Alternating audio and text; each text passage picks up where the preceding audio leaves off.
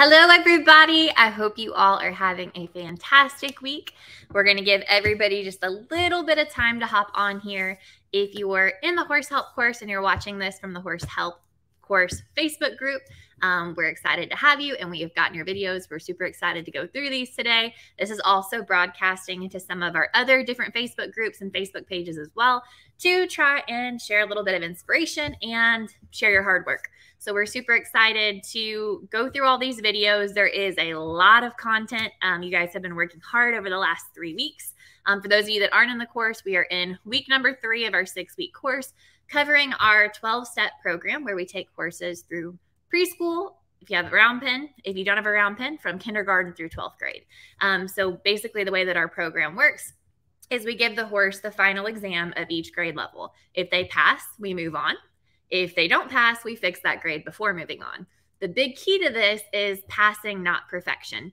And why that's important is if you ask for perfection, you keep looking for perfection, you're going to find that you're going to be frustrated, disappointed. Your horse is going to be frustrated and disappointed. And those two things together are not going to help you find success. So we're looking for passing. And today you may pass with a D with your horse. And tomorrow you may ask for a D plus. And then the next day ask for a C.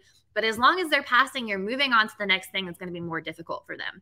By moving on to that next thing that's more difficult, the grade that you did before that is going to become easier. So we're going to cover some of that today. Um, right now, we've worked all the way through preschool up to fourth grade, which is our lessons that we're working on for this week. So there's going to be a mix of everything people who are just playing catch up, just getting started with going through preschool, kindergarten, and some of the younger grade levels, the younger, the earlier grade levels. And then we're going to work our way all the way up to our membership club, where we have people that are working on all kinds of crazy things. So this is going to be a variety of videos combined together whatever we don't get through from today, we're going to end up hopping into the membership and the course Facebook group tomorrow to try to get caught up. There's three hours worth of content. So we're just going to dive in. We're going to go until Michael's coffee runs out. He is locked and loaded. He's been training horses since seven o'clock this morning.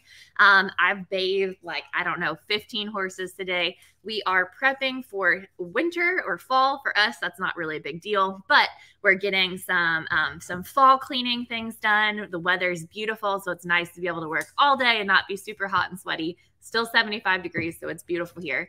Hello to all of you guys that are hopping on. Miss Sheila, Allison, Anne. Um, Penny, if you guys hop on here and you want us to be able to see who's asking the question, make sure that you give StreamYard permission to use your Facebook or to see your Facebook, which will let us see your name on our end. Hi, Melissa, Sue, Christine, Patty, Michelle, Pam, Wendy. Awesome. Thank you guys so much for hopping on here.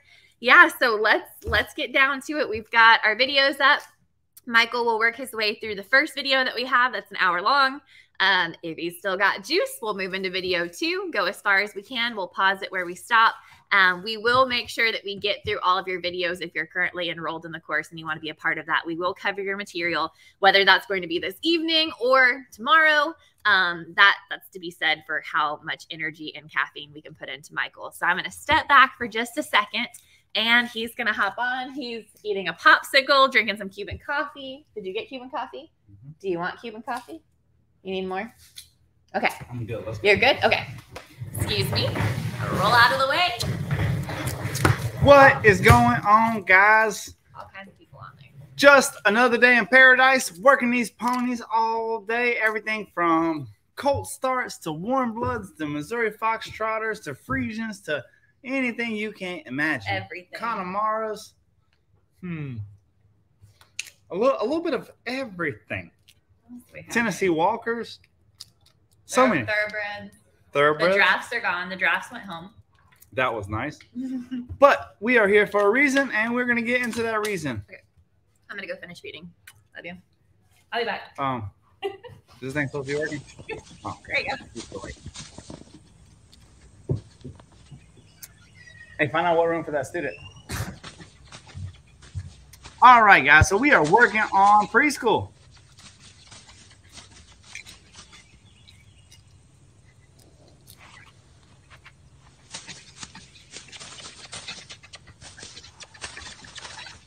So I like to see the tarps all the way to the fence because if they don't touch the fence, you'll have that horse walking the two inches.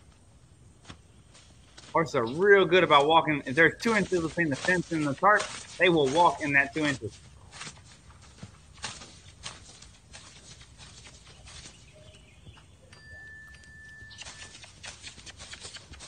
It's a good looking guy.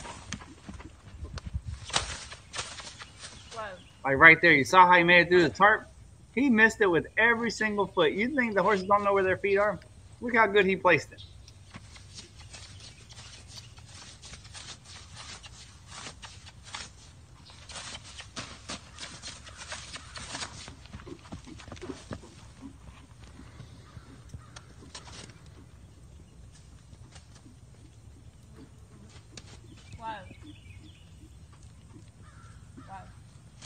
Now, if you have a flag stick or a bag stick and you start going too crazy and really getting in close to that horse and that horse really not moving, Hi, my name is Jill, don't be afraid to grab Mercy, yourself my one foot. 15 year old spotted saddle horse.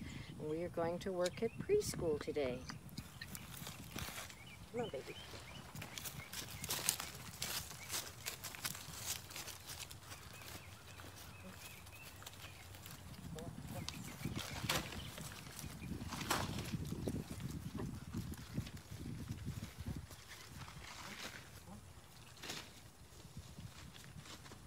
Very nice.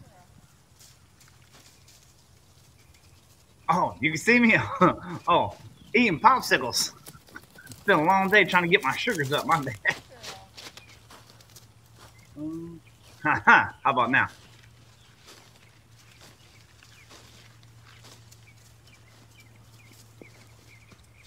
Very nice work. Now, if your horse is, if your horse is having a problem coming towards you, don't be afraid to push them out of your space. A lot of the horses are they're so sweet and so kind that they don't understand that you mean go away from them. So I was glad that you were able to to push them off of you. Also, if you don't mind cutting your tarps, you may want to reuse those tarps for other things, and that's okay. But if you don't mind cutting your tarps, they're just for your horses. If you cut those tarps in half, well, now they're half as wide and twice as long, so they make it where there's nowhere else to go except over the tarp. And that spacing that you have there, your horse is doing great, and you are passing with flying colors. But if that was a horse that really didn't want to go over the tarps, that would be a lot of space for you to have to cover to get them to go over it. Remember, the bigger the obstacle, the easier it is to get them to go over, which is contrary to popular belief.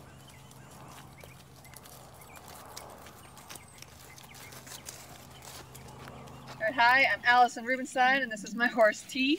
She's a 13 year old Rocky Mountain mare, and we're going to do preschool.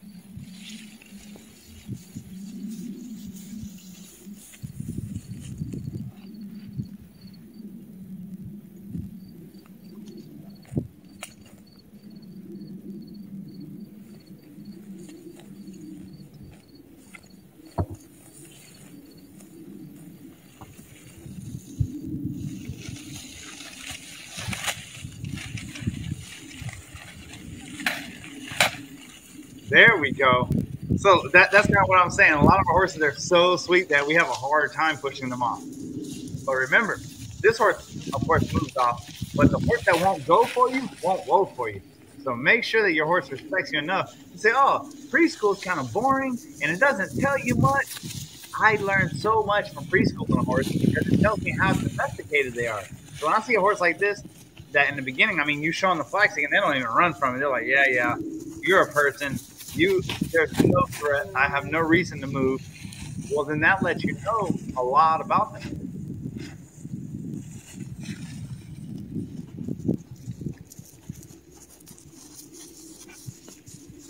So that second tarp, not being able to go over, that kind of goes into the same thing about having those longer tarps or cutting those tarps in half where you can really string them out. just makes it a lot easier for the person.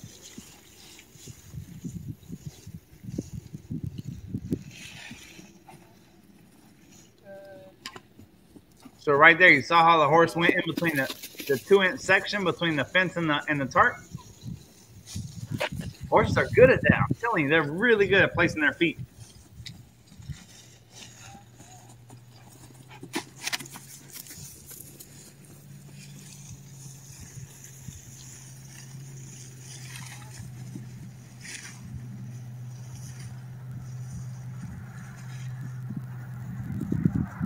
There we go. There we go. Nice. All right, I'm Allison Rubenstein. This is my second horse, River. She is a five year old Rocky Mountain horse, and we're working on preschool. Miss Allison and River. I just worked a river name, a Rocky Mountain named River. It stepped on my toe. I know because I still have the mark.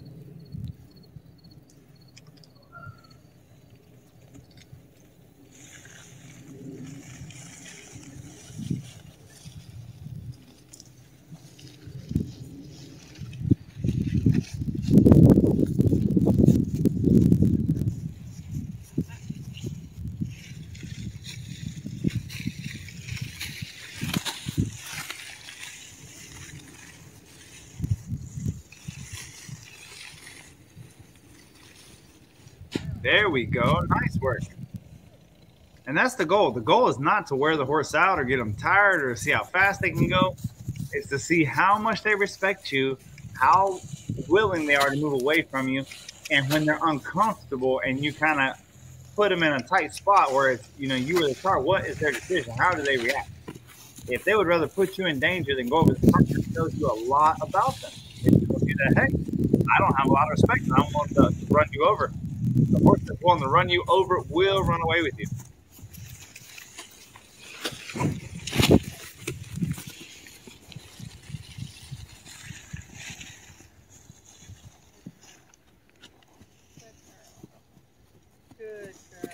Very nice. One job at a time. you got to understand, you're doing a great job, and that pen is not the easiest one to do preschool in. Big pen, small tarp, you really have to drive your horse well to get them there. The smaller the pen and the bigger the tarps, the easier it is.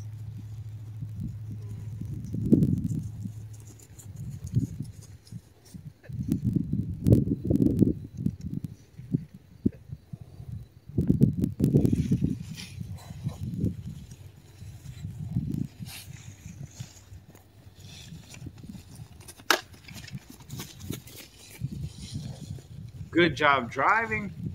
Flag in the in the push hand.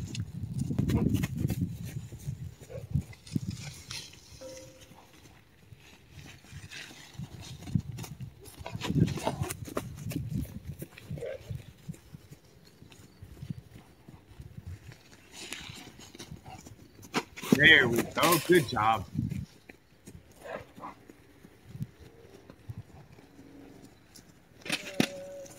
Very nice. And quite frankly, if I get one time over in each direction, they don't have to go fast. They just have to move off my pressure and go over one time in each direction. A lot of times, I won't even get them going over so many times, so many times that they are comfortable. Like when I go to a colt starting competition, I get them over. This is Ruby. I get them and over She is a quarter horse that's eight years old, and we are doing pre kindergarten.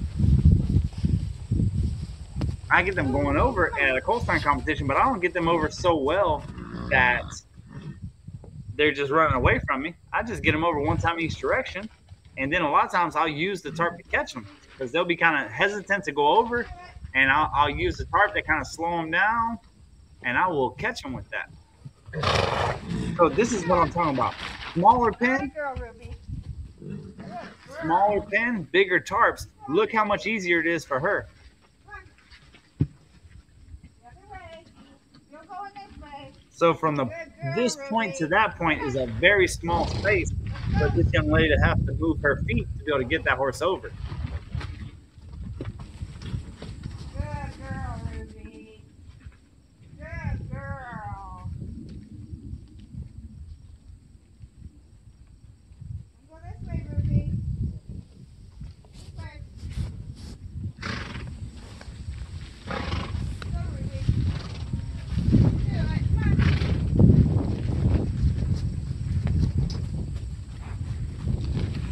That's it. Come on, keep going. All right, so that's it. They're stopping to, to eat grass. Don't be afraid to put more pressure.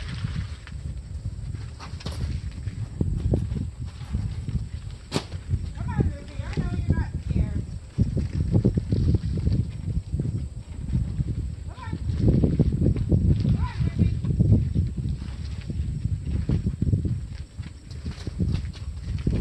Very nice. Very nice. Way to work that flag stick. Keep going, Ruby. Hello, Ontario folks. I know. Okay, that's enough. Please say, hey, well, what do you learn from this? What do you see from this? Hi, it's Joanne, and this is Max. He's 18 months old, and he is a quarter horse, and we are doing pre-kindergarten. So this is an 18 month old colt. So I can just look at these preschools and it tells me so much about how how our horse feels about our person. So one of the reasons this is my one of my things that I do whenever I colt start or when I get a new horse in is because it tells me a lot about how they're raised. That has to be a well raised, super domesticated. Look right there. You see how he was willing to risk her to not go over that tarp? That's a domesticated pony right there. 18 months old, and he would rather run at her than run over a tarp that's six inches wide. That's exactly why we do preschool to see where their respect levels at and what we're gonna have to do to keep ourselves safe. The only horses that have ever put me in danger ever in my career for going over a tarp are very over domesticated horses that have been taught that human beings are no threat. We pose no threat. We come in peace. We're nothing but kindness, and we're nothing but a scratch machine and cookie dispensers. And when we do that, then the horse says, "Hey, great! I'm glad I like you. What? I'm still scared of everything else because I'm a prey animal." And that kind of puts us in danger. And I really don't care if they get the right answer, get the wrong answer. I just want to know what their answer is. So that colt, just in that one moment when he when he put the brakes on and ran at his his mother, that was enough for me to say, "Oh, okay, buddy, I see you. Uh, you're not scared of people. Look at him. We're chasing him with a flagstick, and he's eating grass. That's how little he thinks that that we're to be respected or that we're a threat. Again, doesn't make him any better, doesn't make him any worse, but at least we know what we're working with. And that's the whole point of the program. And that's the whole point of the Horse Help course is for you guys to be able to read and judge your own horses and be able to say, hey, I see this horse. I see what his tendency is. So many times when we lose our confidence, it's from the fear of the unknown. Well, these are the little things that make you have confidence. Is your ability to be able to read that horse, your ability to be able to say, hey, that horse is snotty. That horse is a little brat. That horse is feral. That horse is very flighty, very scared. Uh, that horse is scared of everything else, but not worried about people at all. Uh, all these are things to take into account. So if I'm starting that colt, obviously he's he's only a year, year and some change, so I wouldn't be starting him under saddle. But let's say this this colt is two, three years old, uh, and it's time to, to, to ride him. I understand that I have to gain his respect because he doesn't have a lot of respect for people uh, before I ride him. All these are the little tricks of the trade that I want you guys to get. All the things I want you to understand when you're out here working your horses. And that's exactly why we're starting from the ground up. You would be surprised about how many horses that have been ridden for 10 years that will fail miserably. You say, oh, okay. I see why they were having issues. Gotcha. You got a little Mustang here.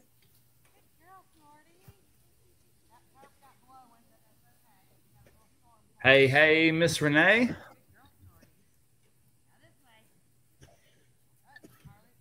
And if you guys are, that are watching this have questions about what you're seeing or what we're talking about, put them in the comments below.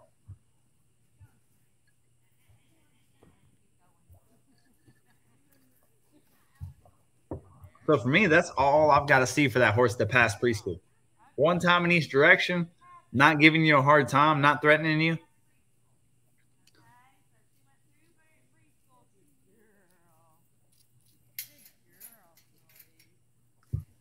Again, the, the big misconception whenever we're free lunging and we're doing preschool like this, it is not to wear the horse out or to drive them to go fast. It's just to see. We work with so many strange horses that we don't know. It's just to see who they are. It's just to see their reaction when they get uncomfortable. Miss Jen says, once your horse has gone through this program, how often do you revisit these exercises? Um, preschool almost never. Preschool is is my introduction and lets me know what horse I'm dealing with. So preschool almost never. Kindergarten and first grade almost daily. Desensitizing, very little. Um, I do want to keep them soft backing up. I, I do want to make them soft backing up, and I do want to keep them soft left and right, most importantly. So, kindergarten, first grade is one of the few things that, that we're going to keep. But kindergarten doesn't look this obvious. Like, I'll grab a horse from the stall and take it to the tack room, and I'll just stop and look at them and see if they look back at me. So, right here, she's backing her horse up. Same thing with first grade. First grade, I'm just going to bridle the horse up with whatever I want to ride the horse with, and then grab them by the reins and ask them to circle around me, and they should be soft and easy. So very quickly, you're not putting in all this hard work from the ground before you ride. To the contrary, we really try to wean them away from it, where that any horse you can just cinch up in half, no hump in their back, no nothing. You can just ride off calm and quiet.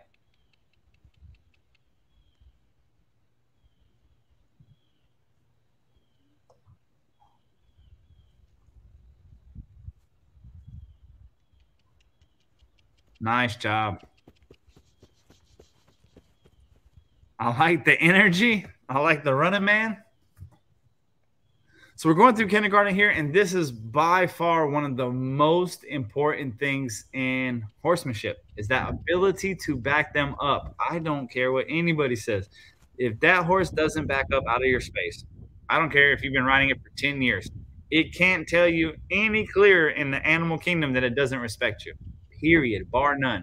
It may know how to do its job and it might put up with you and you might have not died yet. But if that horse doesn't back up, it doesn't respect you. In the animal kingdom, whoever backs up, whoever gives ground, that is the loser.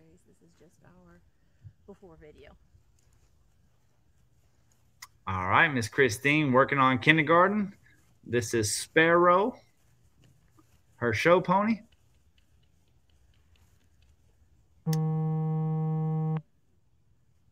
The reason that that respect is so important. I thought my phone was um, vibrating. It's the phone that she's videoing is vibrating.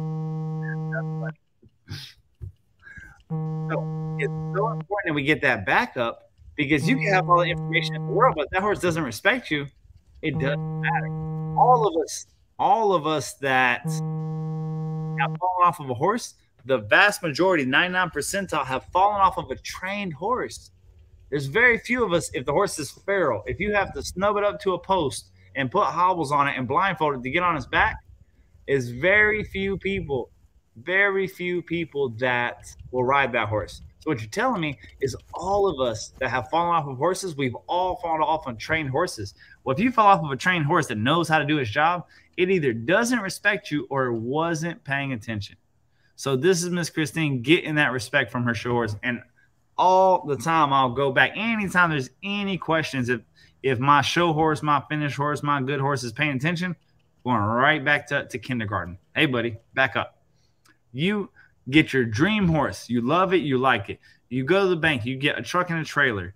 Then you take off time from your work to go on a dream vacation to Smoky Smoky Mountains or Myrtle Beach or wherever you're going and that horse that comes off the trailer, you don't you don't recognize them because they're looking all over the place. They're calling for horses that they don't know. They're dancing around.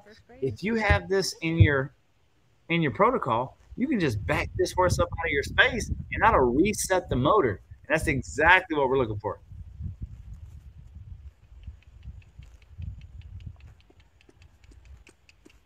Release. All right, so the duller the horse is, so right there she's talking about how dull the horse is and how she had a hard time. She gave that horse about three more bonks than it needed. The the harder it is for the horse to find the answer, the quicker the release is. Right there, release. Good, good release. Better timing that time.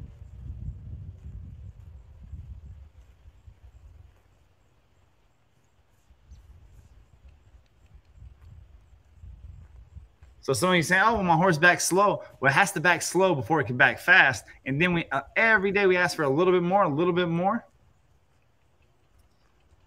You're north of Port Hope. We are in Poplarville, Mississippi. Good job, Christine.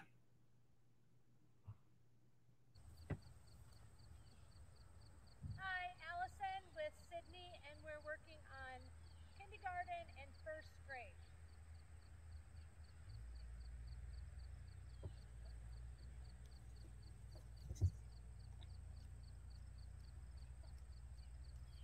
There you go. Nice. Good girl. That's it. Yeah.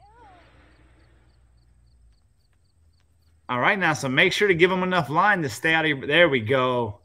So when you first walk off, give them that much line. I like it. Spunky. And release. Those feet move, release. Those feet move, release. So a lot of times our dull horses will stay dull because damn if I do, damn if I don't. If we keep shaking their face, even when they're moving their feet, well, then there's nothing that increases the urgency. So by releasing a little quicker, you'll get your mare to work a little harder. Very nice. Nice first grade. Make sure that the line is coming out of the bottom of your palm, not in between your pointer finger and your thumb. The reason being is that's how we ride under saddle, and we're doing everything we can to mirror how we ride under saddle. Also, once you get in that small circle, you won't pull to your left hip, you'll pull across your body. Horse is working real good though. Love the, the intention to focus on the face. All these little things, they matter. There you go. Drive, drive, drive. So when that happens, drive to that flank. Nice. This time you're pulling across your body. I like it. Don't let the horse lay on you. Touch and release, touch and release until there's a little slack in that line.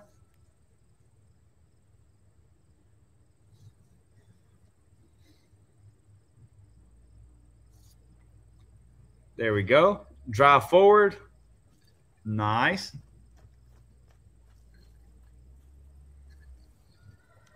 And when I say drive forward, what I mean is you start coming their direction. Don't go around them. Go straight to them and start bringing that rope towards their neck, towards their shoulder until they step away.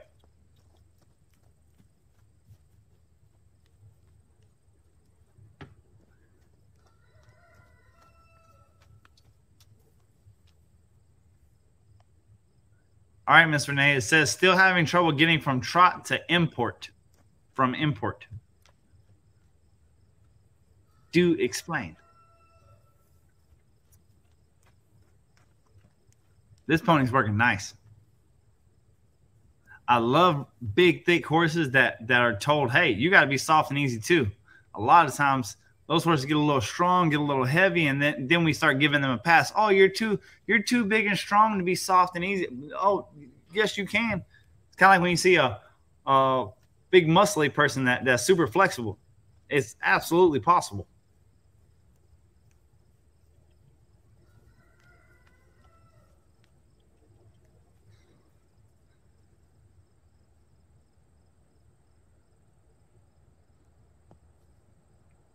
All right, Miss Allison. Yeah, when she does her little waspy thing, I want you to keep swinging and keep driving right to her her flanks. That's going to drive her forward and keep bonking on her face to the side.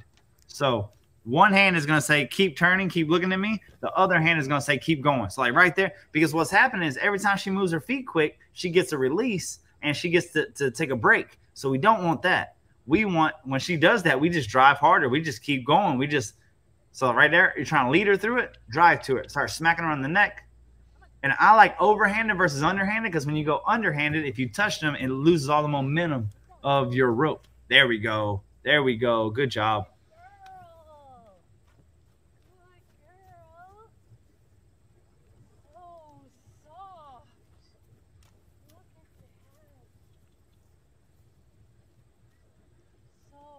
Very nice. So, so guys, when you have that horse that's getting waspy in first grade and like kind of doing wonky things, keep driving them forward. Keep driving them forward. What is the best grade for situational resistance? First grade is, is really my go-to for most things. The reason being, once I get this horse in the circle, I say, hey, this is our standard, this is our normal. Well, then I expect them to give me that softness, give me that eye, give me that butt, give me that shoulder, no matter what. So if it's a sensitive horse, I'll get him in that circle good and I'll slap the saddle. I'll get him in that circle good and I'll make a noise. I'll get him in the circle good and, and I'll, I'll slap him under the belly. Uh, I'll do something to kind of set them off and then say, I still expect you to pay attention. I still expect you to turn. I still expect you to give me your face and your undivided attention. And that really helps with situational resistance. Your your accountability group mentioned overhand instead of underhand. That's right. Hey, I wouldn't mention these things if I hadn't just tried it every way imaginable. Uh, but just little things like that, every little thing matters. Every little thing that you put together makes it easier and easier for you. All right, we're in kindergarten again. All right, for Renee. For Renee, if you have a pacey horse and you're working trot, that will absolutely help your gait because you'll use that trot to really lower his head, soften soften his body, and really get him limber through his body, through his shoulders, so that you can put a, a arch and a bend in his body whenever you want, and that's really gonna uh, put him in tolt easily and break that pace. As far as kindergarten goes, right here, really good job. I like it. Good timing, nice and soft. Like this a lot. Horses, look at that horse's head's already down below yours. Very nice. All these are signs of a horse that does not want a problem. Saying, yes, ma'am. Make sure not to bend over when you do that.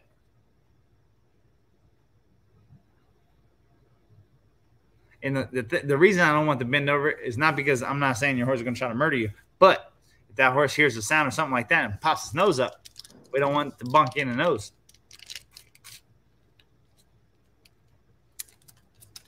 Going from kindergarten into first grade, coils, hell of a job picking up the coils. Pop her in our, our rear hand. Good job, young lady. Heck of attention to detail right there. Stop swinging. Your horse is already moving. There we go. Did it just as I said it. Nice. Moving in the butt. I like that.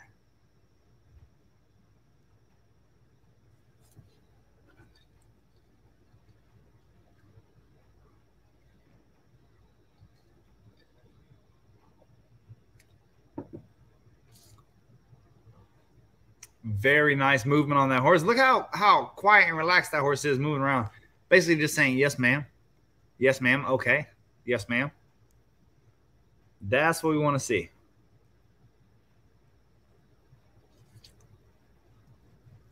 Nice. Moving those shoulders over, moving that butt.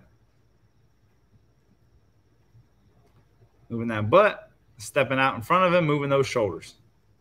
Really nice job.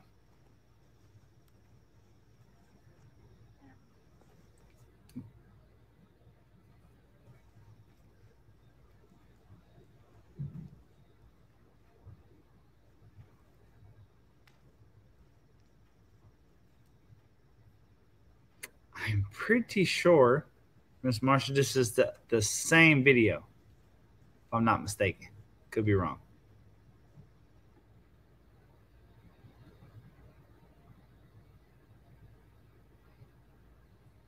Yep, same video on repeat. Move to the next one. Good job. You definitely get a sticker.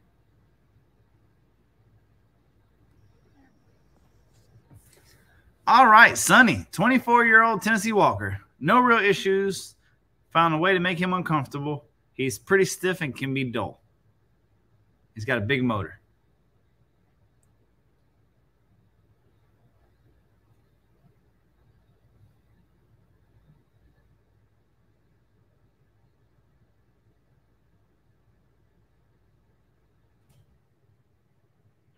Now remember, guys, when you're talking about these horses being dull, you will have a dead, lazy bum of a horse with one hoof in the grave.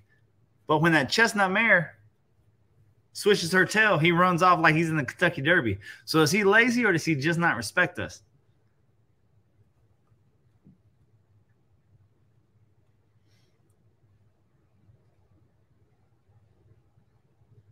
That's it. Release. Good job.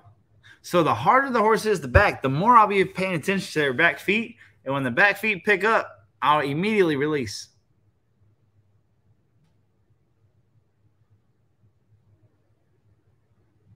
Sasha, if my horse is too slow when I lead him, there's a couple things we can do for that. we can do a butt rope, which is basically what we teach foals how to lead with and horses that don't want to lead how to lead with. We'll take a little lasso and put it over their butt, above their hocks, uh, and over basically over their back, in front of their hips, and the bottom of the lasso will be above their hocks, and we'll lead them and put very light pressure on their face and walk off. If they don't immediately move from that pressure, we'll goose them, and then they'll want to keep up. You do that a couple times, they really want to walk with you. They don't want to get left behind because they'll get goosed. The other thing you could do is more of a showmanship type work where you use a long whip and you walk with them, you lead them beside the fence, and when you walk off, uh, you'll tap them in the butt without looking at them because they're in between you and the fence. And that's how showmanship trainers work. Uh, showmanship being in hand work, and that really gets the horse to walk however fast you want to walk. They'll mirror you. Miss Barb, you are kicking butt. You said he's dull and heavy, but you got him bending real nice, looking real good. Nice. Look at that rope swinging like a ninja.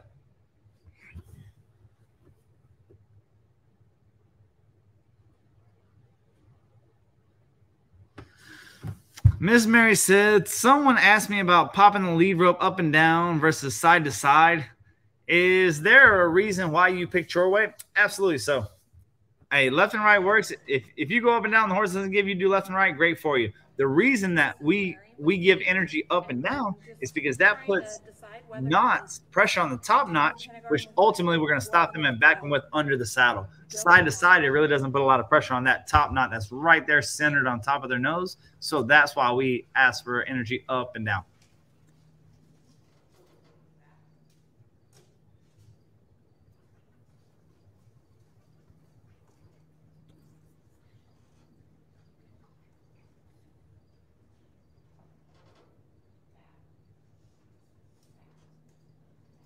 There we go. Energy, energy, energy. That's it. Watch your feet, release. So I probably would have released and then backed up even more and then released and then backed them up even more.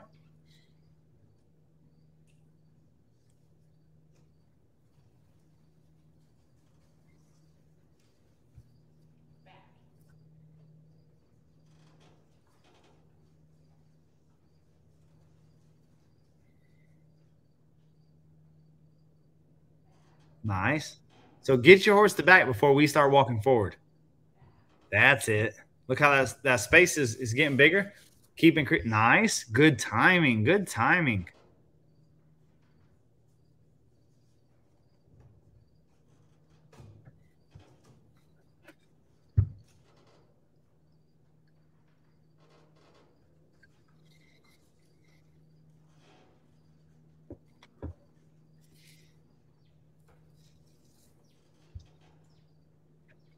Don't walk backwards.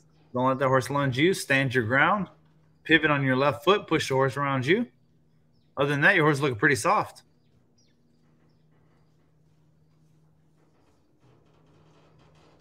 We definitely don't want to walk backwards, uh, especially this early on in the program. Walking backwards, we use that for liberty uh, and drawing them in. Walking backwards in this stage of the game. See how every time we walk backwards, she follows? We don't want that horse pushing on our bubble because we plan on in the coming days and the coming steps to make that horse uncomfortable. Well, if that horse is willing to push on our bubble, you better believe when you make them uncomfortable, they're coming for you. Uh, so you definitely want to make sure that they respect your bubble and they don't want in your bubble unless you invite them in. You, you ever seen the vampire movies? They have to be invited in, you know, into a household. It's the exact same way. You want that horse to have to be invited into your bubble. If not, they do not want to be there because we plan on desensitizing them. We plan on shooting guns around them and having tarps around them and playing soccer and and getting them ready for for parades and getting them ready for for uh, police work for all these different things. Well, if we plan on doing that, we know we're going to make them uncomfortable. We got to make sure they respect our space. Very good job make your war face a little bit and make that horse want to stay outside of your bubble a little bit more. You can still feed that horse carrots out of your mouth if you want to, or lay him on his back and scrub his belly, but we don't need him in your bubble all the time.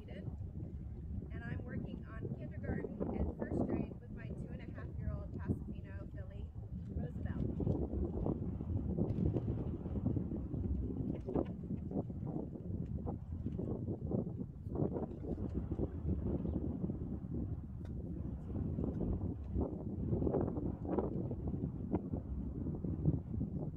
Good job. Stepped into that horse. I don't know where you're at. That's big country right there.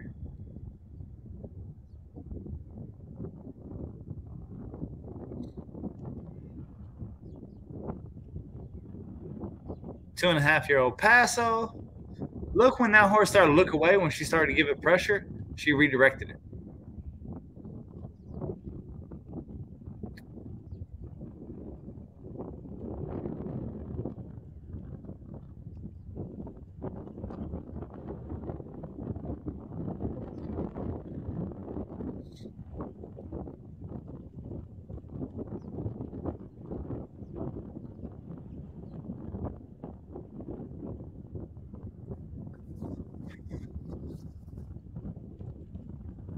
There you go. Start working that row.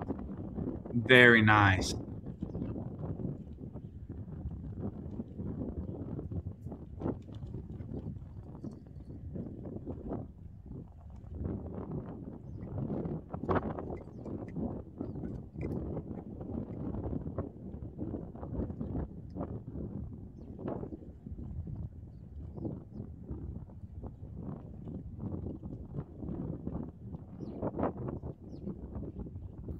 Barb Hop and Spinner working on kindergarten and first grade. We got our halter today, so hopefully no metal clip hurting his chin and he'll respond better. Thank you for the fast shipping. I appreciate that. And we'll see how we do. We got our Mustang, kindergarten and first grade.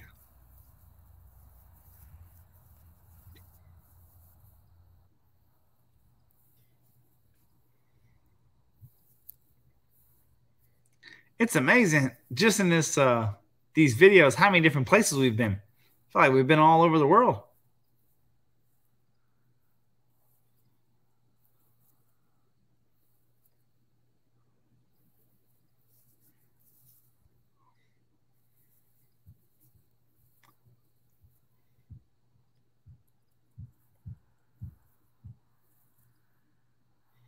So make sure that we don't start moving our feet until our horse starts moving our feet. Because if we start popping our own bubble, that horse is not going to get to the point where he moves quicker.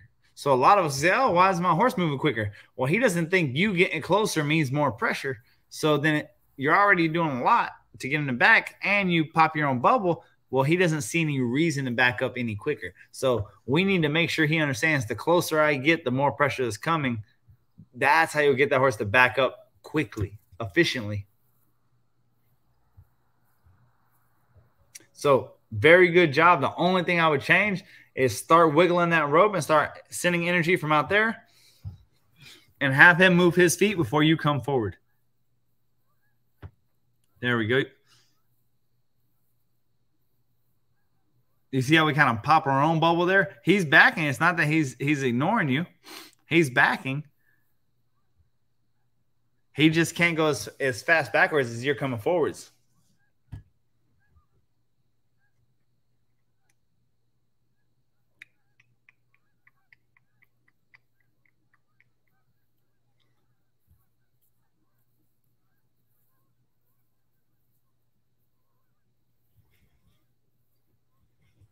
Don't walk backwards. Send him around you. Stand your ground and pop him on the shoulder. Make him get away from you.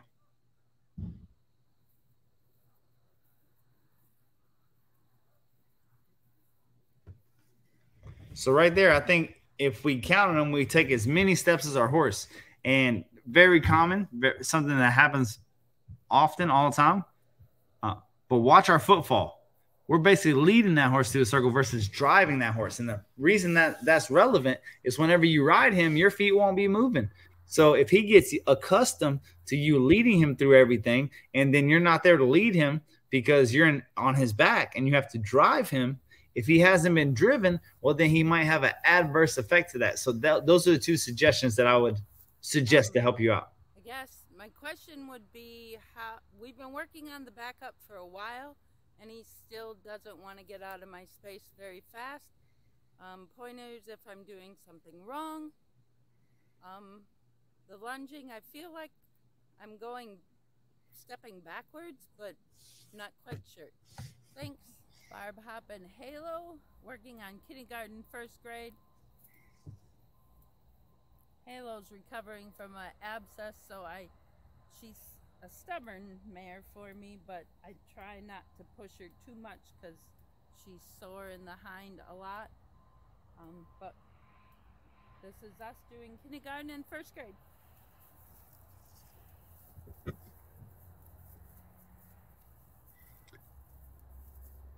So she was talking about getting that horse backing up. I mean, all she has to do is make sure. There we go. Make sure not to pop her own bubble, and make sure that that horse backs up. There you go. Back the horse's feet before we move our feet. Back the horse's feet before we move our feet. And then she starts to understand. Oh, when you get closer, more pressure is coming with you. Then she'll start to to back up.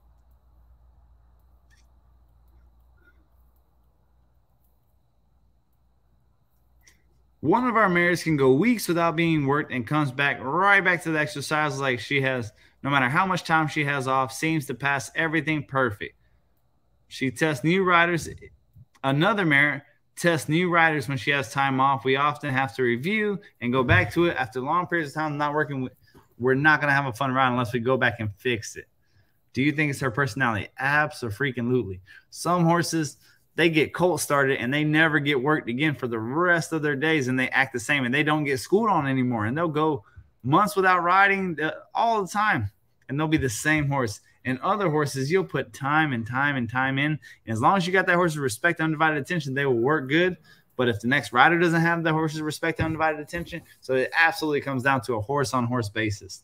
Um, which horse doesn't want to get in trouble? Which horse is very respectful some horses respect easier than others, just like people. Uh, some horses have more work drive than other horses, just like people. So all those things come into play when it comes to their performance. That's why you having this really lets you know, oh, that mare, hell, you don't you don't even really have to, to work her too much. She's gonna come out and work good. That other mare, you know you want to go through your steps before you hop on the trail, especially if she's had time off. Because if she isn't passing, all right, my lady, here the same thing. We want to make sure that whenever we start popping that shoulder, that, that we stand our ground. If you walk anywhere, it's going to be straight towards her. It's going to be in a straight line so that she goes away from you. Think about it. Everything about preschool, kindergarten, first grade is all about you earning your respect. So we talk about that word respect, and people automatically assume that you have like a baseball bat or you give them like a mafia offer and you have like a cigar hanging out of your mouth and you're eating in, you know, Italian food in the back corner no, no, that's that's not how this horse thing works. You gain a horse's respect by getting them to go backwards, by moving their feet, by driving them away from you, because that's how they earn each other's respect. This is their language. I didn't invent this. This isn't my doing. This is what they came up with, where they said, oh, whenever I want that other horse to move, I show my teeth, they move, they get a release. If they don't, I bite them. Next time they move, they get a release. This is horses' uh, language. We're just picking up on it and using it to, to communicate with them.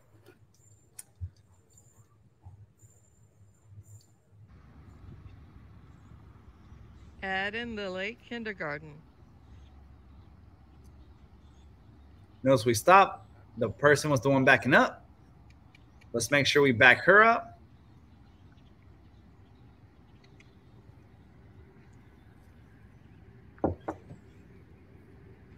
I love that that it's this long and this many times and this this many hours because it would just get so repeated in your head. Very nice work. That time you didn't have to take a step backwards. All these little things matter. They don't matter to you. They don't matter to people because this is not our language. This is their language.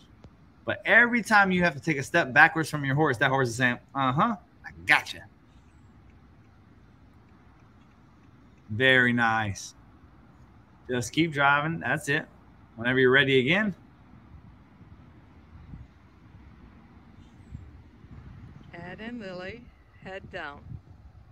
Nice work. Love both hands between you and your horse. So that's a horse that's being respectful. It's pretty obvious. I can see 30 horses getting ready to go on a trail and tell you who's most likely to fall off. The, per- the horse that has his head in the air and his eyes hanging out, and the horse dancing all around, they're probably about to have issue.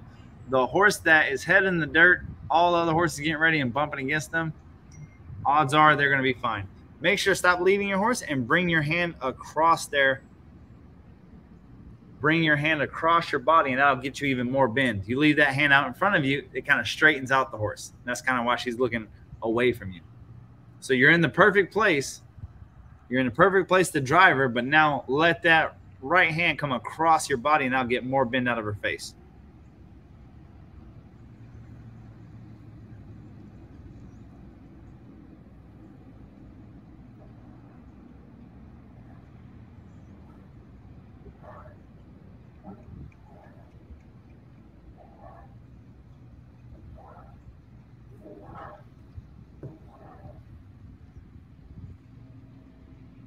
Very nice. Better bend this direction. Mostly because you're not leading her this way. Your hand's closer to your body, so you're getting more bend out of her. The reason that this is so important, that's not very where you're standing right there is not very far from you being on her back, driving her forward. The more, the smaller the steps, the longer lasting the results. Extra credit. Uh oh, we're working extra credit. Rear crossover. Rear crossover. I like it. Moving that butt.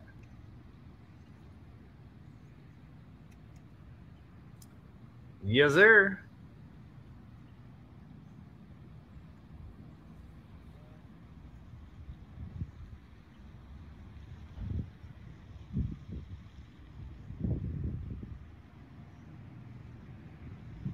Good job. You sent that horse around you. I was about to pick on you. Don't walk around there for your horse, but you didn't do it.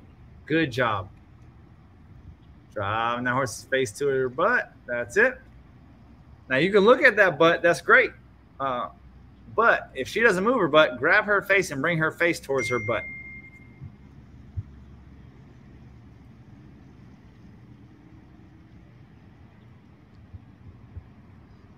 Okay. Ed and Lily, second grade. Doing a little desensitizing. Very nice.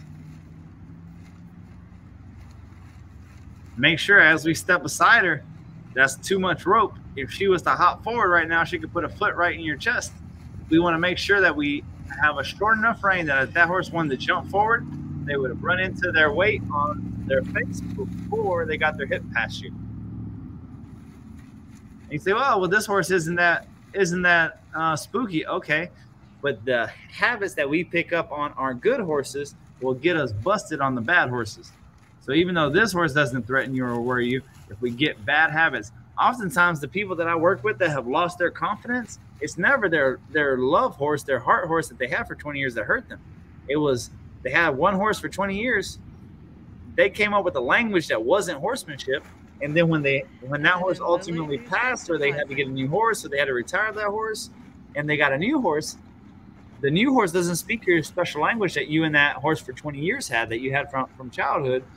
So that horse is like, I don't know what you mean, and then does its own thing. That's because we we got poor horsemanship because our horse was so forgiving and our horse was so easy. So even if we have an easy horse, let's let's put a little pressure on ourselves to have those good things and something as simple as making sure when we're trying to spook them like we are now, that we have enough lead rope that it can't their hip can't pass us. Because again, all that stuff is just muscle memory.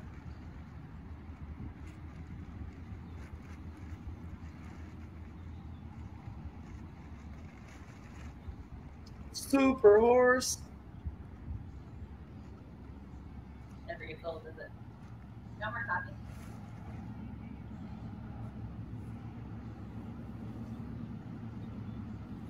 I got you. Got it.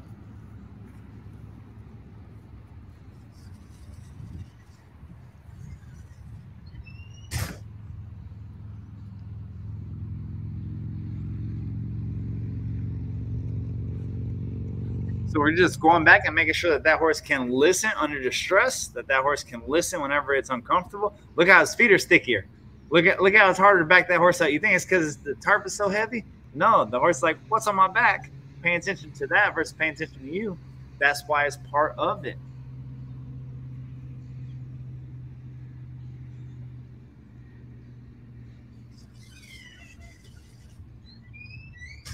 The reason we have these extra steps in, the reason we have the desensitizing, the reason we have desensitizing emotion is because again, people get hurt on trained horses.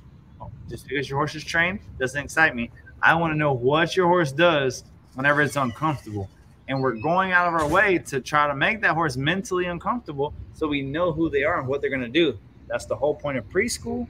That's the whole point of everything along the way when we're making that horse uncomfortable. See what they're going to do. Now, this horse right here is worth this weight in gold. It is passing with flying colors.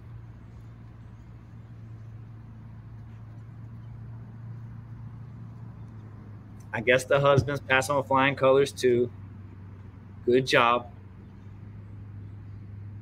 See, that's that's a wife that loves her husband. Look at that husband horse. That's a nice husband horse. Sometimes I get husband horses into work and I think, oh, you don't really love your you got some insurance on your husband. You're trying to get him killed. Poor husband knows nothing about horses and the horse is jumping through the air and flipping over backwards and trying to, to bite and strike and oh this right here, ladies and gentlemen, is what a husband horse should look like.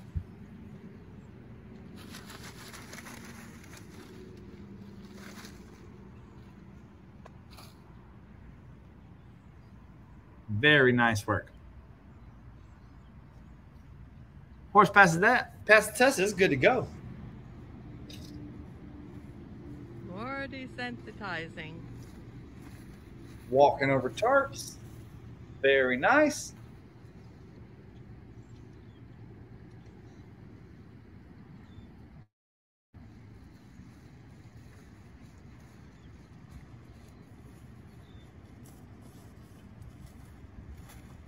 I believe that, Miss Melissa. I need about a hundred horses like her. All righty. Very good job. Ed and Lily. Hi, I'm Angela and this is Sandy. We're going to try and pass kindergarten and please maybe some feedback on how we can perfect or pass grade one. Angela and Sandy. See what we've got. Oh, looking a little drafty.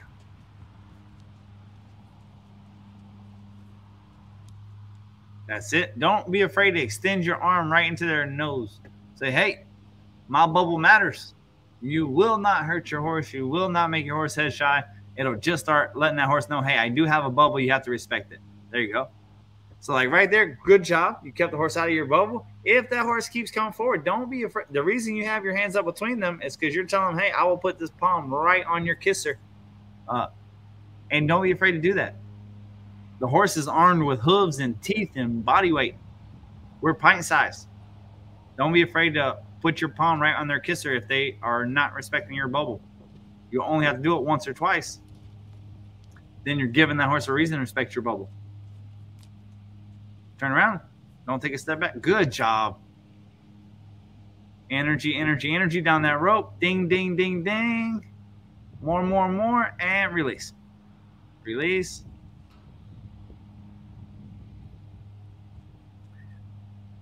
So she did absolutely did a good job. She absolutely is passing that. She's backing that horse up. But I'm telling you, if you want to get the horses more efficient, you got to release whenever they they first try because if they're going to get pressure if they try and they get pressure if they don't try, well then they're not going to try.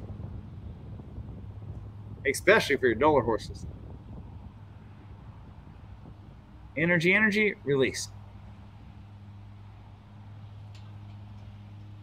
There we go. Release. And release. Good job. So these are the little the little tricks to getting these horses a little bit quicker on their feet, a little bit more moving, is the ability to release quicker makes that horse want to try faster. Don't walk beside her, push the horse around you. If you're about to do first grade, see how we're moving out of her way. Start popping her, pop that shoulder, pop that neck. There we go. Don't backpedal. Stand your ground. There we go. Nice, nice.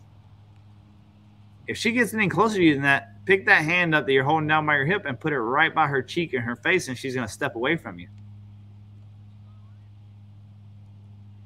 That's it. That's it. That's better. Like that roundness in your horse. You're driving the horse forward, looking at her face. She's looking at you, nice and bent.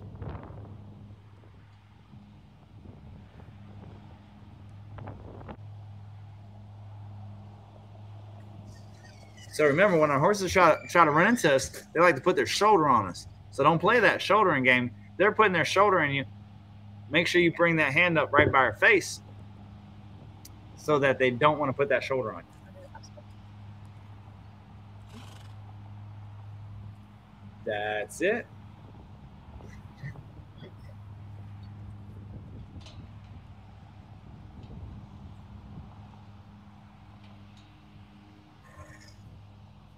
Love the bend in that horse. A lot of times you get anything drafty, whether a Belgian or a Haffy or or Gypsy or anything. I would like to know if that is a pass for kindergarten, but also how I can make her back up smoother and quicker and more responsive without having such a big ask. And for grade one, I'm pretty sure that's not a pass, but I'm not really sure how to correct what I'm doing to get the response that I want.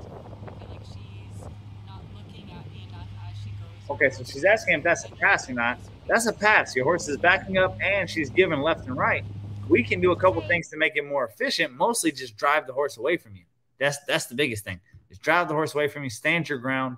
Um, release a little quicker on the backup, so that horse says, "Oh, if I take a step, I'll get a release. If I take a step, I'll get a release." And that one step becomes two, becomes five, and very quickly you have a horse moving quicker. But if she takes a step and there's still pressure, and she takes another step and there's still pressure, and she takes four steps and there's still pressure, and then out of nowhere you release, she really doesn't understand where she got the release from. She knows that she's going backwards, but there's really not uh, reason to speed up because if she did, there still wouldn't be a release. So the ability to increase uh, the physical pressure with her because she's a little dull, and the ability to quit quicker. Um, and then when in first grade, you're passing first grade, the horse is soft and easy. Don't take any backward steps. Don't be afraid to put your hand up in the horse's face between you and your horse's face so she steps around you. You do those couple things, it's going to gain you more respect, more space, and your horse is going to work better.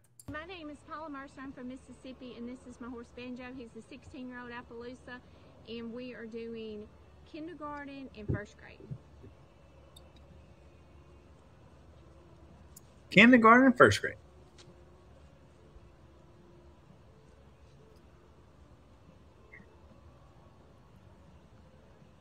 Nice. Release, release, release, release. Good job.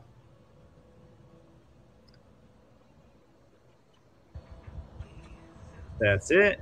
Don't walk backwards. When I'm looking at somebody lunge a horse or I'm looking at myself on video lunging a horse, I want to make sure that the horse is taking way more steps than me. Whenever I see my person walking more than our horse, I say, oh, that horse is already thinking, oh, I'm the boss of you. Because in the animal kingdom, whoever gives ground is the loser in the animal kingdom. That's why it's so important. It's not because it's not because I care if you get your cardio in when you're working your horse. That's not what I'm saying. What I'm saying is whenever you start moving your feet more than they're moving their feet, they are saying, Oh, I get the advantage. You did good. Horse backed up, gave his face in both directions. You want to do better and get a better grade, even get a sticker. Stand your ground, make the horse move around you. When you switch sides, you don't switch sides, he switches sides. That's another thing I want you guys to, to understand. When we change directions, we are not switching sides. We are changing directions. So that means we stand in one place and we look at that horse right in the face and we say, hey, go the other direction. But we're not going to walk around that horse because, again, you're starting to give your territory. You're starting to walk around and making it easier for your horse. Your horse has four feet. You have two. They move easier than you do. Make them walk around you. And those little bitty details uh, can really make a big difference. I have an extremely dull Percheron mare that keeps pushing into my space almost no matter what I seem to do.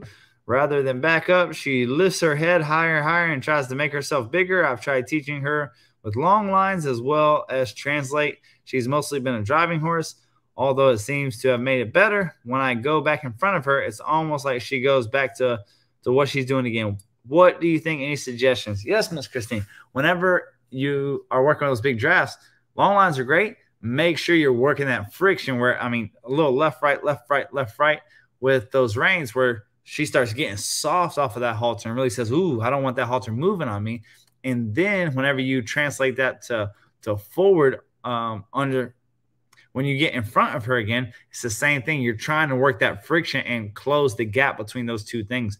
especially with the Percherons, especially with the the big horses. They're bred not to give the pressure. So it's your job to make them understand, hey, I'm not going to force you. I'm going to use friction on you.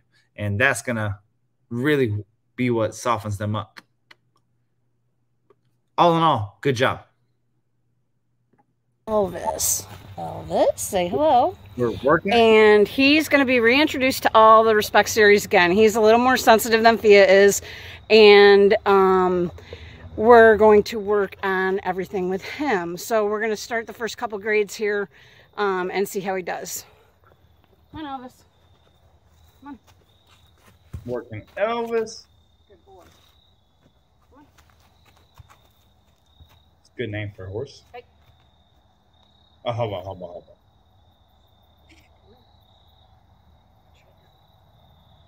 If Elvis is having a bad day, do you tell him you ain't nothing but a hound dog?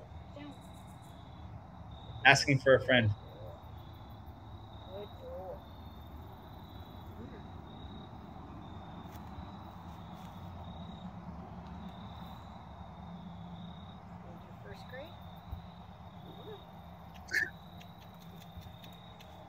There we go. Getting that back up. Try to keep that back up straight. When you back them, if they go left, you pull right. If they pull right, you go left.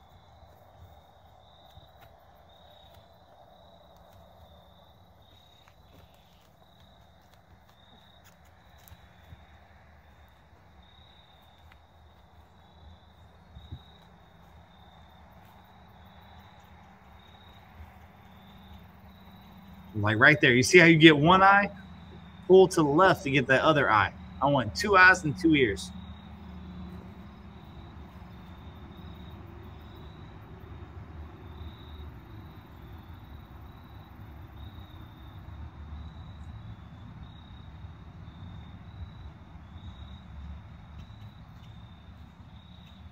There you go. Swing that rope, swing that rope, swing that rope. Drive into that shoulder. Pop, pop, pop. Now drive that flank, flank, flank, flank. There we go. Right on that hip. Keep driving, keep driving, keep walking, keep driving. Don't quit, don't quit, don't stop swinging. Don't keep keep going. There we go. Good job. Good job. Way to see it through. Guys, most folks, your natural human instinct, when you press a button and it does not go, we stop pressing the button. That's very common sense. That's very human instinct. But in horse sense, when we're not getting that answer, we gotta keep driving, keep kissing, keep pushing. She was uh, resilient enough to keep swinging the rope, but don't stop, not even for a moment. If you're clicking, don't stop, not even for a moment. If you're kissing, don't stop, not even for a moment. So that horse knows when you get quiet, oh, that's what you wanted. Start swinging, start swinging. See how you're trying to hold that horse there when he starts backing up? If he starts backing up, let him. You can power walk faster than he can walk backwards. If he starts backing up, you just keep going forward and drive towards that flank.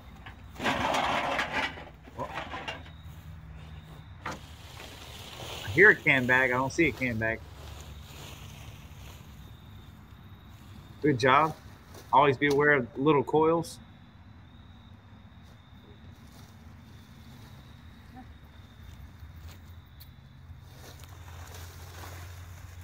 Very nice.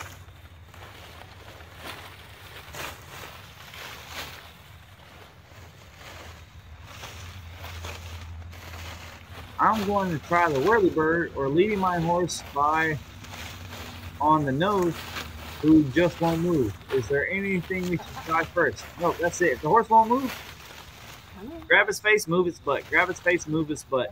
So if that's the whirly bird or however you got to get his face to move his butt, instead of trying to move four feet, just move two. Just move his back two. Just move his back two. Just move his back two. Next thing you know, it'll become your horse's idea to want to move. Nose. Yeah.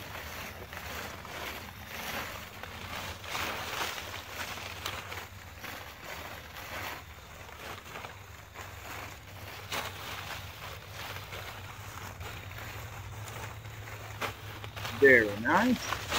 I like that flagstick.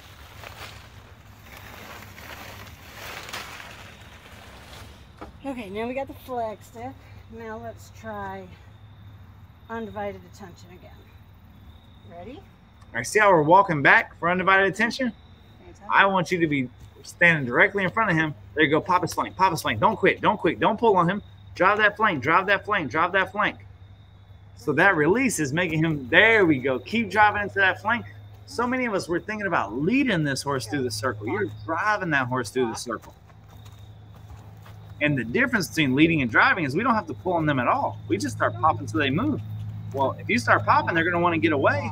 But when they get away, let's say they go backwards. Okay, drive, drive, drive, drive. They're going backwards, backwards, backwards. You're not stopping popping. Then you, they take one step forward and the popping immediately goes away. They're going to say, oh, she wants me to go forward around her. Very quickly, they'll understand the difference. One day, they'll understand the difference. One session. But if every time they take a step backwards, we stop popping, basically we're teaching that horse how to pull away from us. We're teaching that horse how to find its own release. Whoa. Back.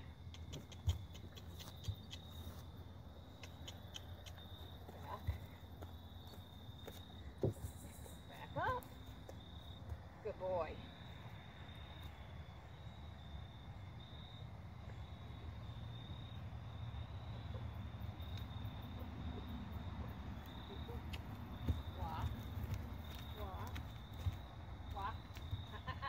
Drive, drive, drive, drive.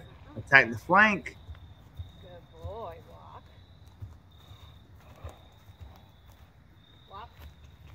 Swing, swing, swing. Keep walking. Keep walking straight towards them. See how we kind of get in that tug of war match? We don't want the tug of war match. We want every time that they don't go the direction you want, that we start coming in their direction. They say, "Oh, I don't want you coming my direction, so I'm gonna go just where you want."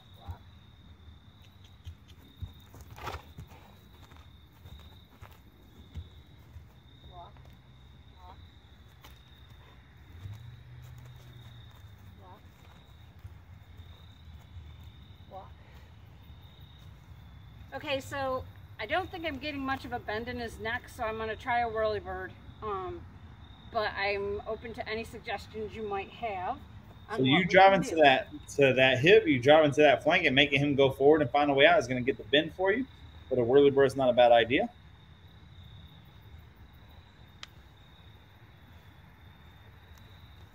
So she's going to pull that horse around. Nice bend right there. Good job.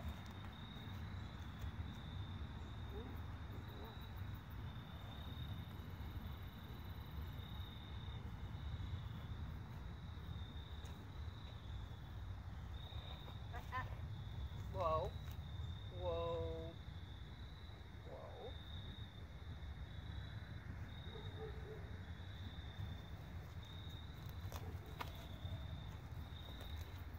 Very nice. Way to make the adjustment when you don't get the answer that you're looking for. And that's our video for today. I'm going to take him out to the obstacles and walk him across a couple bridges. But I was curious to see what you thought of his respect um, and keeping his eye on me. Thanks. Bye. My name is Michelle Vaught, and this is my horse Fancy. We're working on kindergarten.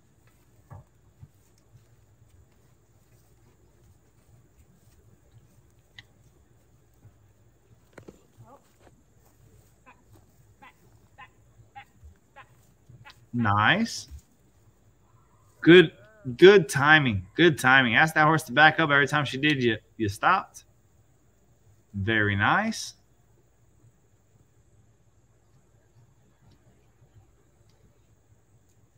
I like the space between you and your horse.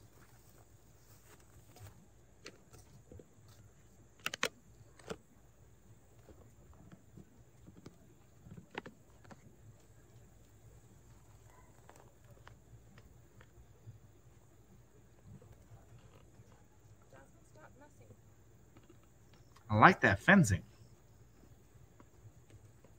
All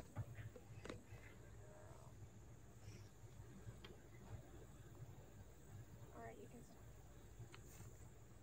My name is Michelle Vaught, and this is my horse, my daughter's horse, Boomerang.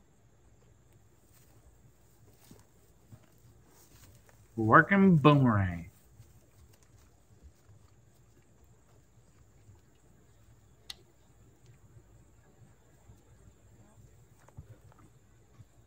Good job on the last horse. Very respectful. I like it. There you go. Keep sending that rope through. That looks like a real light cotton rope. So that that will have an effect on your ability to work. If you have those those ropes that are so light that they feel like they could float away in the air, some, some of those cotton ropes are really light. It almost feels like you have to work hard because there's no weight to them, so they don't get a lot of bang for your buck.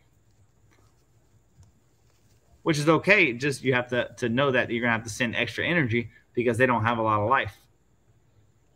Those heavier marine ropes, when you send some, some energy to them, since they're heavy, it puts some some oomph on them.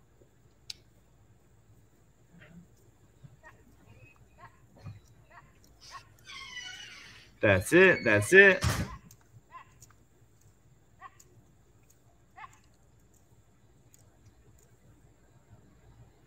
Nice.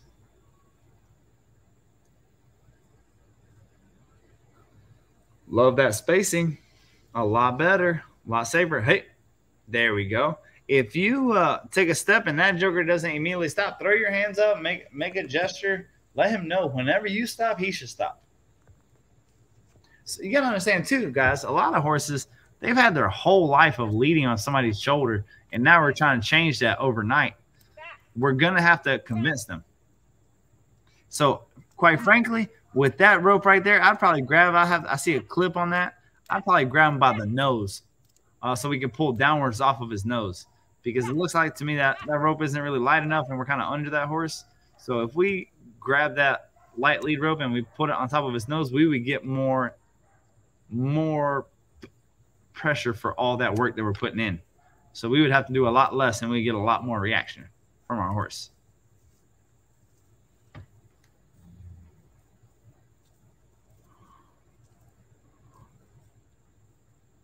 So whenever we're stopping, we're stopping so calmly and quietly. So stop and plant and pick a foot up and march like you're uh, the Queen's Guard. Like whenever you stop and turn, stomp that foot down. Let him know, oh, I need to be doing something. But we're stopping and kind of waiting to see what the horse is going to do. Let him know you want something. Lead him to the right answer.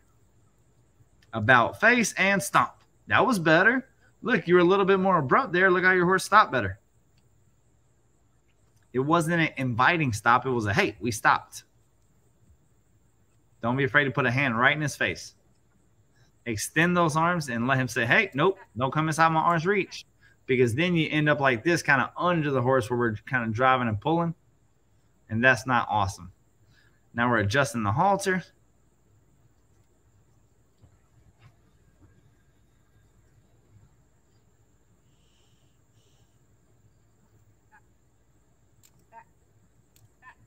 There you go. Don't stop. Don't stop. Don't stop. Be persistent. Be persistent and release. Again, again, again, again, again.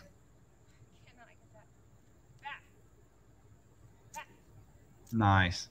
Better. Like I said, I think you have a couple things. I think you have a, a dull horse that's not very respectful. Uh, we have a sweet, kind hand. And we have a lead rope that's not helping us.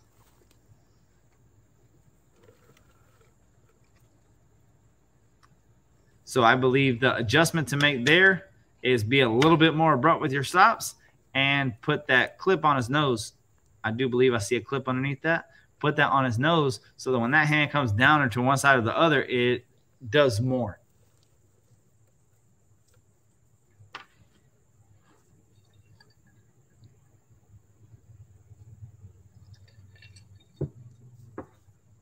Because our horse just looks unenthused, like, oh, okay.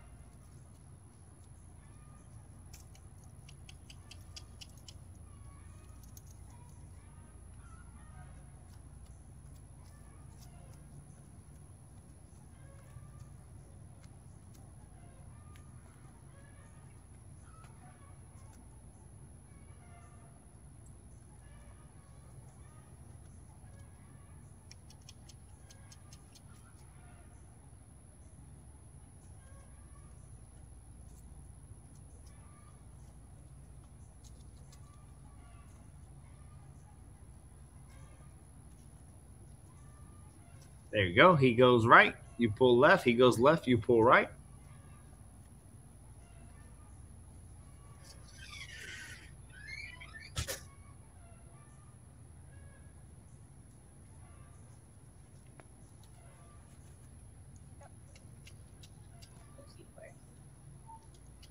Right.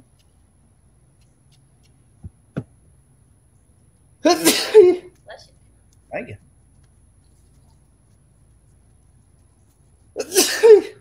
Excuse me.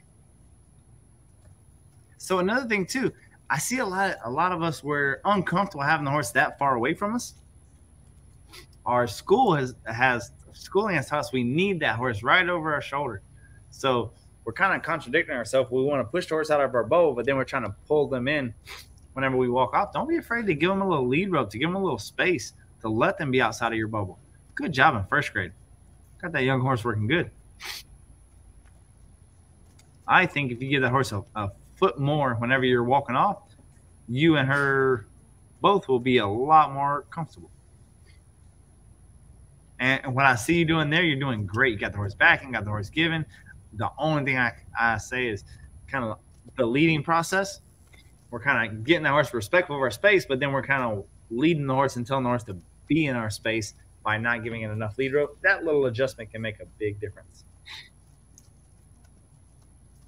When I'm walking horses, quite frankly, I don't care if they're 10 feet away from me as long as they're going with me at the same speed I'm Katie going. Hamilton. This is Jasper, Rocky Mountain uh, horse, and we're gonna do kindergarten and first grade.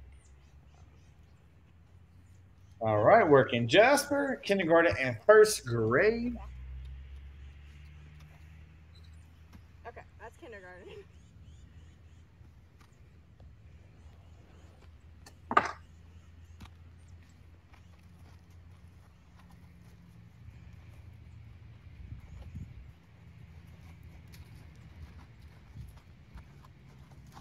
Very nice. Good job. Good job. Ah, and then you step backwards.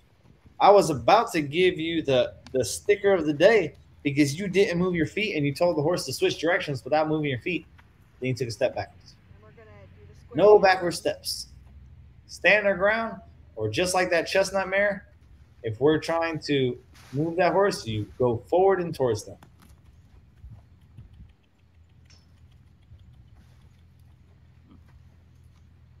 All right, start swinging that rope. So the only reason that that side's hard is he's getting a release. Don't be afraid to swing that rope. All right, we're moving that butt. Gotcha.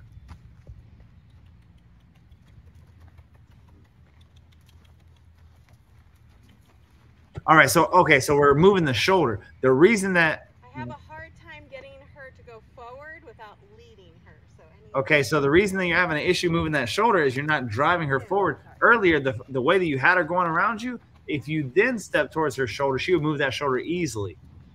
But like right there, when you switch from moving her butt to moving her shoulders, you need to pop on her or drive her forward, and there's no energy to switch from a pivot to forward.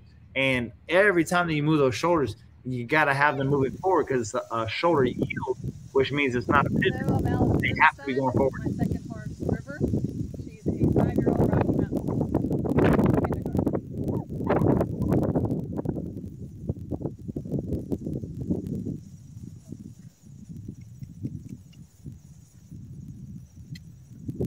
Working on river.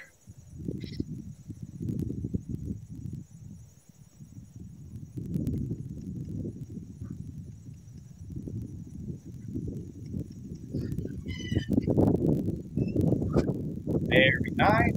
Like the softness.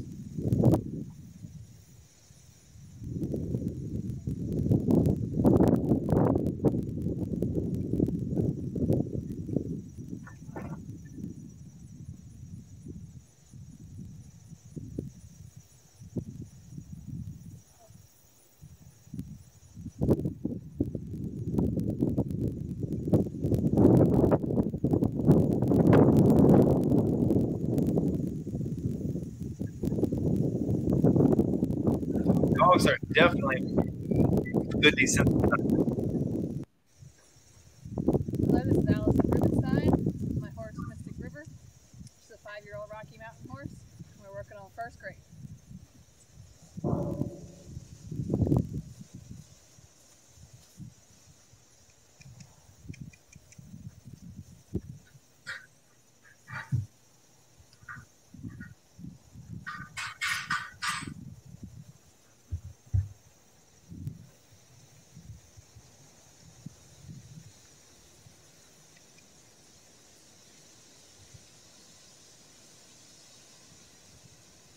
All right, guys. Anytime, not that you're having a hard time, it sounds so much. See, I'm looking in the comments uh, of people having a hard time moving the shoulders.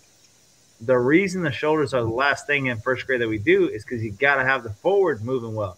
So we got to be driving them. And the other thing is, we need to be behind the cinch. See, like right there, good job on the butt. Let's see if she gets to the shoulders. So you see, she could be almost anywhere and drive that butt, no problem. But when she goes to the shoulders, she has to be behind the shoulders because she has to be driving the horse. forward. If we get in front of the shoulders and try to push the shoulders, we shove forward and we don't get it. The other thing I see people do is really try to flex the horse really hard towards the shoulders. And the problem with that is it shuts them down versus drives them forward. So anytime we want to move the shoulders, remember we got to be driving them forward. That means we need to be behind the shoulders. We need to be behind where the cinch would be, driving that horse forward. And then, uh, pro tip number two is we can't overflex them. If we overflex them, then they end up bending and giving and not going up.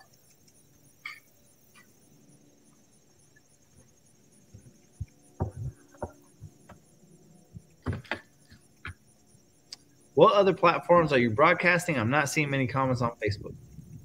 Uh, it's all over different groups, so it goes to all the different places at the same time. It's Hello, this is Allison Rubenstein. I'm working with Chocolate Tea on kindergarten, my 13-year-old Rocky Mountain mare. all right, Jamie, you got this. Light bulb moment. You've been in front of the shoulder while trying. Absolutely happens to all of them. And it's something so simple that you could watch somebody do it 10 times and not realize that they're one step further back on it. And it's, it's either you're one step further back or you've driven that horse one step in front of you. It's the same answer. You got to be behind that drop line. All right, so this mare's a little duller, a little harder to back up. So notice how she increases that pressure.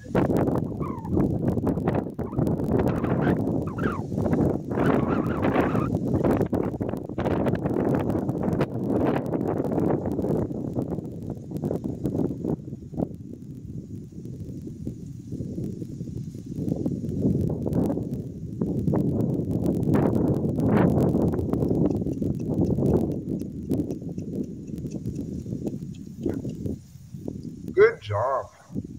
To increase that pressure. Notice I say the increase in pressure. She didn't bonk that horse, crack that horse.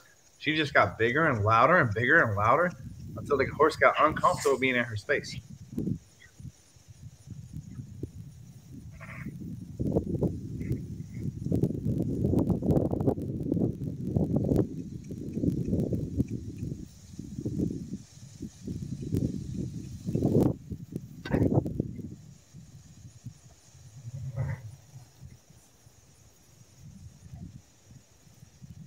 Very nice work. Oh, we got. Hello, this is Allison Rubenstein. This is my horse Chocolate Tea, 13-year-old Rocky Mountain mare, working on first grade.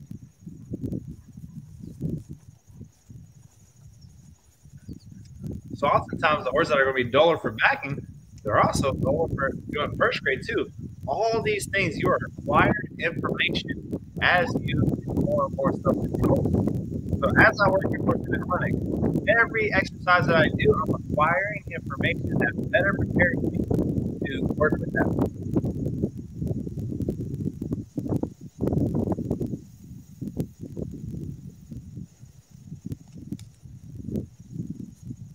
You notice how much pressure it takes to move their feet, how much pressure it takes to turn the steering wheel. People think a lot of people think, "Oh, this is boring. It's just groundwork." This is the simplicity and the thing of our success is our ability to obtain information, obtain data, and then make adjustments accordingly. And we wouldn't be able to do that if we didn't have a way to take this data.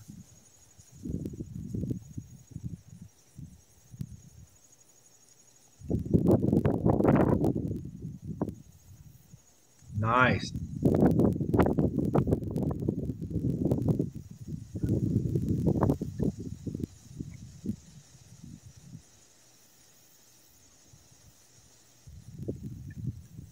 If I'm moving that butt, good job. You, you changed it. You were kind of leading her. Now you're driving that butt and you brought her face towards her butt.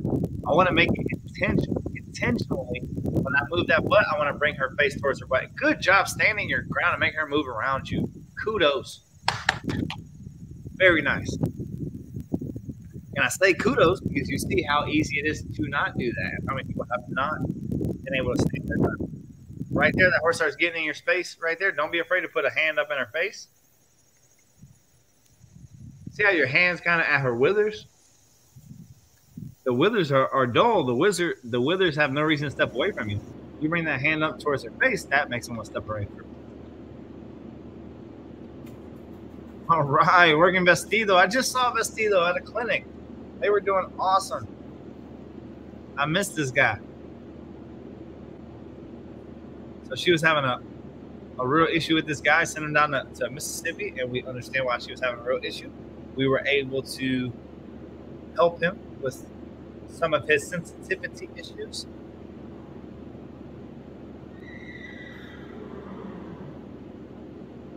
Nice. Way to create energy, but then take it away. Very important.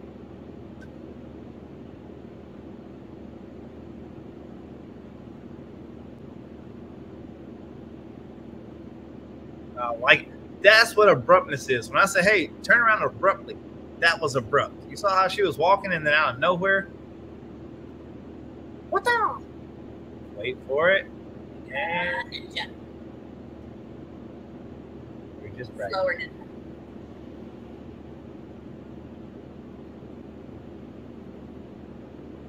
So now this is what we worked on at the clinic.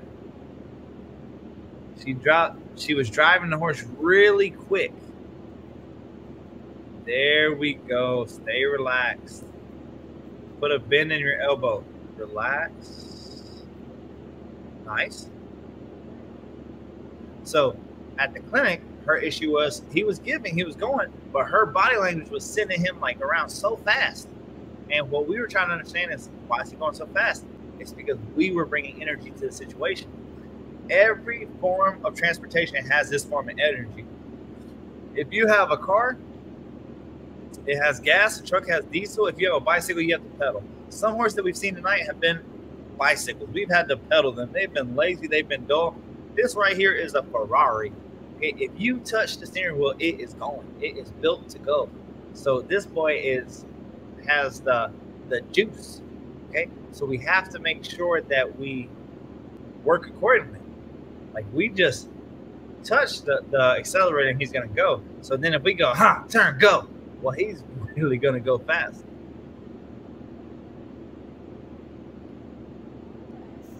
All right, this is Ozark Pete, Missouri Foxtrotter, 20 years old. I'm Melanie Vaughn. So, I 20 year old Foxtrotter, Miss Look at that Melanie.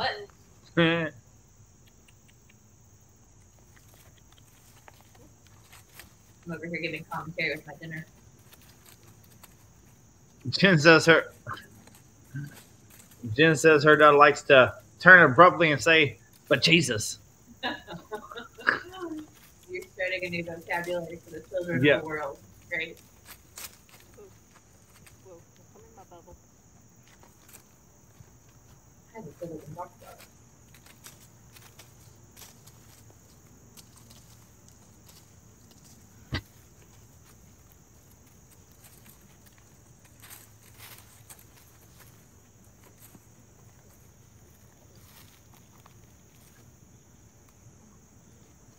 I like the send them, the send them type lunging, um, and walking with them. The reason that we put real tight circles in first grade is so many of these horses we're trying to prepare them for us being in the saddle for horses that we don't know. So for a lot of you guys to say my horse is more advanced than this, my horse does this, does that. Understand that when we came up with this program, it's all designed on riding horses that we don't know and problem horses and really being able to see who we're riding. So that's what being in their space really helps. Nice. Got those shoulders moving.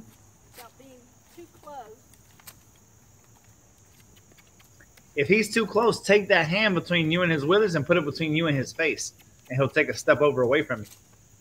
There you go. Now you're moving forward. Try to make sure with your feet that you're always stepping into the horse. Don't let them make you take a step back. Like right there, you took a step right there. You're stepping back. Always be pushing into them and be the one that makes them lose their teeth. You're the alpha mare.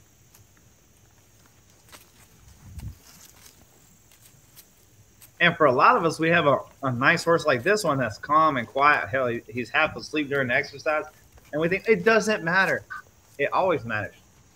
And for a lot of you guys, you have a horse that's already pretty safe, that's already doing good. Those are the horses for you to build your muscle memory on and understand how this works. You don't want to learn how to do this with a horse that's trying to hurt you.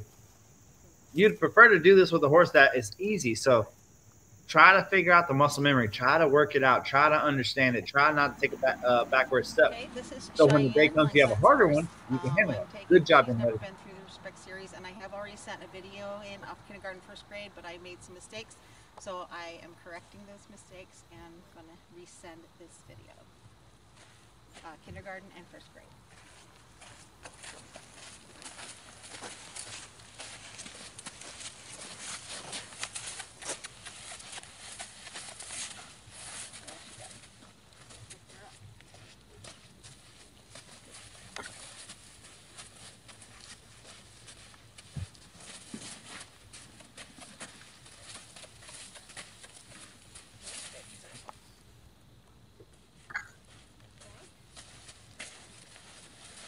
Trying to get that turnaround a lot faster. Nice. There she goes. Nice. Okay. Um, and now first grade. So she already has this horse backing up, so she can ask for two or three more steps and then release, and then two or three more steps and then release. So that horse starts looking, starts finding the reason to back up, getting that horse already knows how to do its job, and then start looking to add a little bit more, a little bit more from there.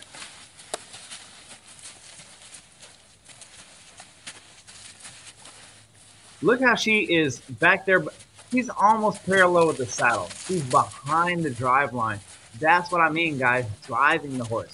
This is what really allows me to prepare that horse for me to get up close and personal. When you put that horse between your legs, it don't get much more personal than that. So, so many programs, you're the prepare to get the horse ready for the saddle is you being 15 feet away from them. That doesn't really, in my mind, prepare them for you being over their back. So that's why I love the circle like this, because look how close you are to her. Look how you're pressuring her and you're making her uncomfortable, and you're already behind her eye and seeing how soft she is, how hard of a time she's going to have. That's really nice. Hello, I'm Allison Rubenstein, and this is my third horse, Bella. She's a eight-year-old Rocky Mountain mare, and we are going to work on kindergarten.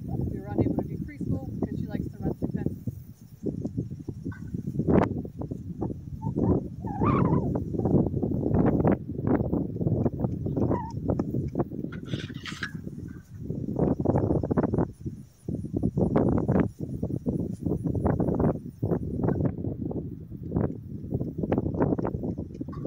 And sometimes you, you get a pleasant surprise like Miss Becky's talking about where she said, Hey, I tried it with my horses and they are doing amazing. I, I'm surprised. I guess they respect me more than I realized.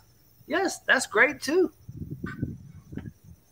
Whenever I remove myself from caring whether the horse gets the right answer or the wrong answer, I believe that day my horsemanship changed overnight.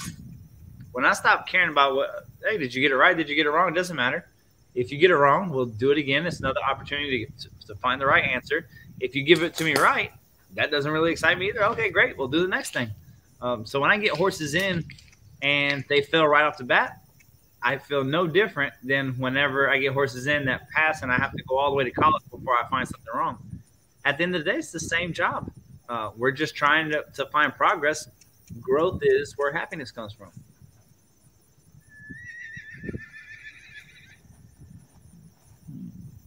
Hi, it's Luann with eight-year-old Ruby. Good job, little lady. That horse worked good. are going to do kindergarten. Wasn't much for me to tell you.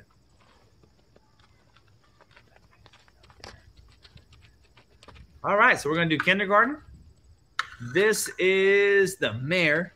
I, I remember the colt. He stuck out in my mind. We saw him a couple hours ago. The colt tried to to run into your space over preschool. It'll be interesting to see how she how that horse backs up.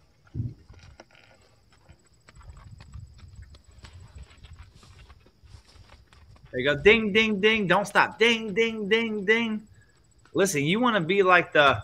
So nothing about this has, gotten that horse to stop in its tracks. you don't have to be stronger.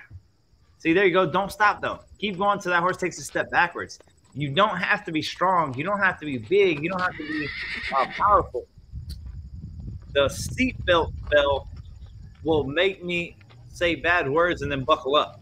The seatbelt will force me to buckle up simply because it is so that they're persistent. I'll get in my truck and drive off and forget to put my seatbelt on, and that thing go ding, ding, ding.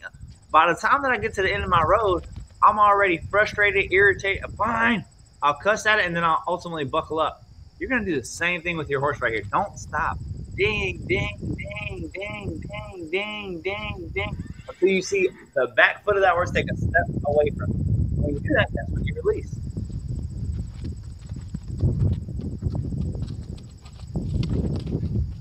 Good job. I like that. A little abruptness. But then we got to follow through with it. There you go. Don't stop. Don't stop. Don't stop. Keep going. Keep going. Keep going. Keep going. Keep going. Keep going. Keep going. Keep going. Keep going. Harder, harder, more, more, louder, louder. With my seven-year-old quarter horse, I'm doing kindergarten and first grade.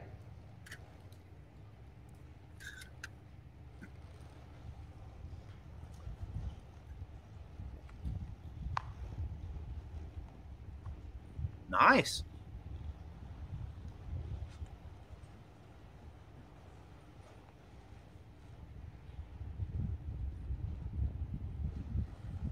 Nice abruptness in the turnaround. Now, guys, come on. I'm not saying that you have to do this for the rest of your life, but especially when you're teaching a concept of, hey, pay attention to me when I'm leading you. How many of you guys have horses that whenever you're leading, I have them. Have horses that when I lead them, they don't pay attention. Basically, when you're teaching a concept of kindergarten, you turning abruptly is just giving them a reason to pay attention to you. Nice work. You don't know how much, how happy it makes me to see soft horses.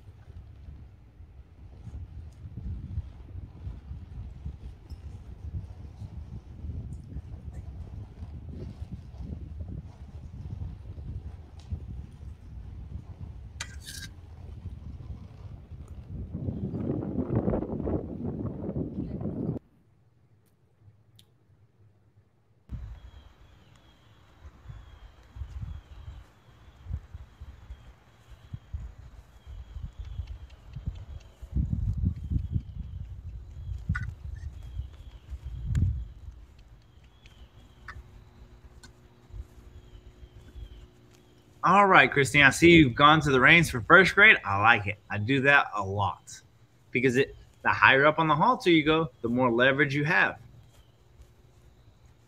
But I'll tell you a secret. One of my one of the things that I like to do is whenever I do go to the reins or I go higher up on the halter because the horse is a little dull, doesn't want to give.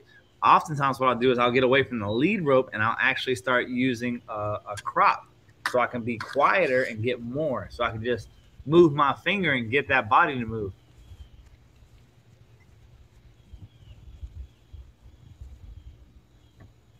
Turn your left shoulder in a little bit more. We should almost be north south of the horse. We should be looking our body should be the exact mirror, the exact opposite of what the horse is doing. That way, the horse always knows what we want if we point our chest towards the horse, just like whenever we're directly in front of them, that's better. If we point our chest towards the horse, just like when we want them to stand still, it makes for more guesswork.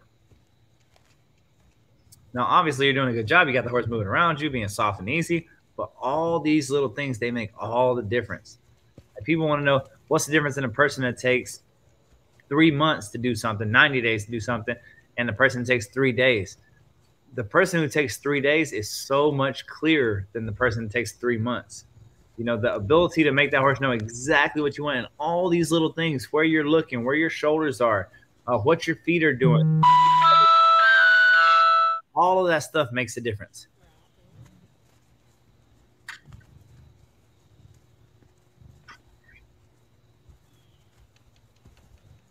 Very nice work. Look at those feet crossing over. I like the pink boots, the fly boots. Make it obvious when, when the horse crosses over in the front. Next time, you need to put a different color fly boot on the back end. So then I can say, hey, look, that's what the, the feet look like whenever they're crossing over on the shoulders, and that's what the back end looks like when they're crossing over on the back end. Hmm. All right, Miss Jen.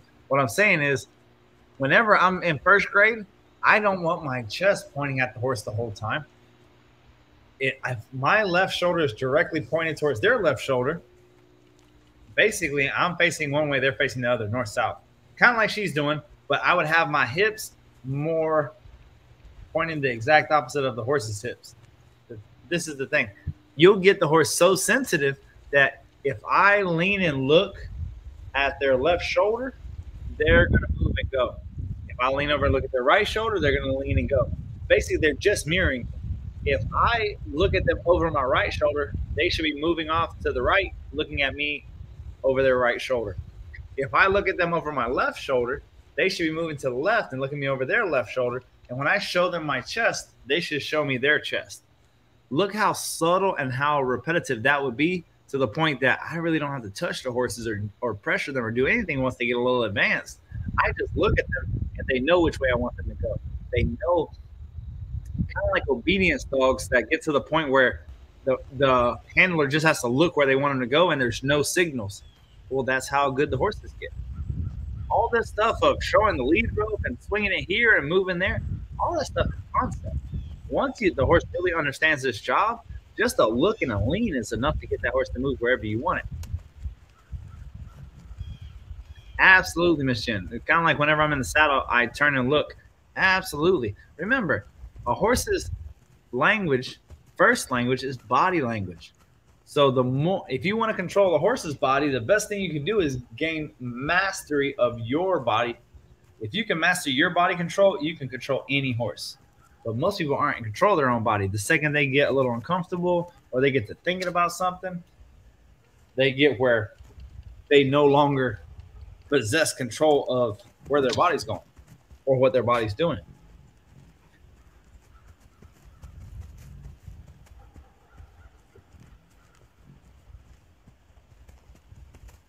Very nice.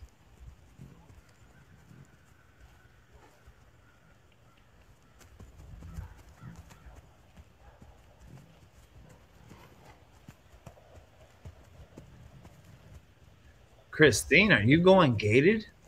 Uh oh.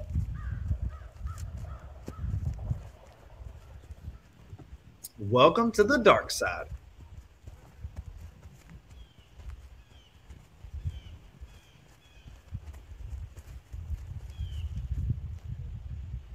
Very nice.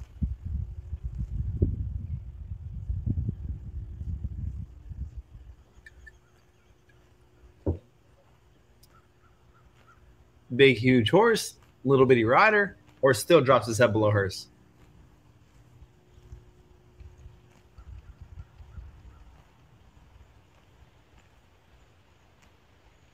People say, no, my horse is too big to drop its head. I say, ma'am, where does a giraffe drink water from? Oh, okay. So it doesn't matter how tall, how big, how strong your horse is. If your horse respects you, it will drop its head to you. You can have a little pony. You, has anybody tried to back up a little pony? You'll have a little pony trying to get bigger and taller than you, and they're they don't even come up to your waist, and they're trying to pick their head up and puff up like a little banty rooster. Anybody ever been attacked by a rooster? You ever seen a rooster chase somebody?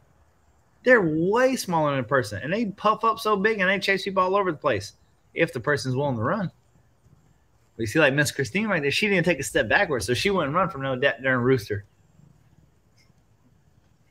Of the most redneck thing you've said in a while. See, so we're paralleling with the horse versus being the op. There we go. That's what I want. I want you facing that direction. If we keep it patterned, it makes it easier for the horse to understand what we're asking. I mean, obviously, the horse passes with flying colors, both directions. But all the more pattern we can make something, the more the horse can know what we're asking, the less confusion, less confusion, less frustration.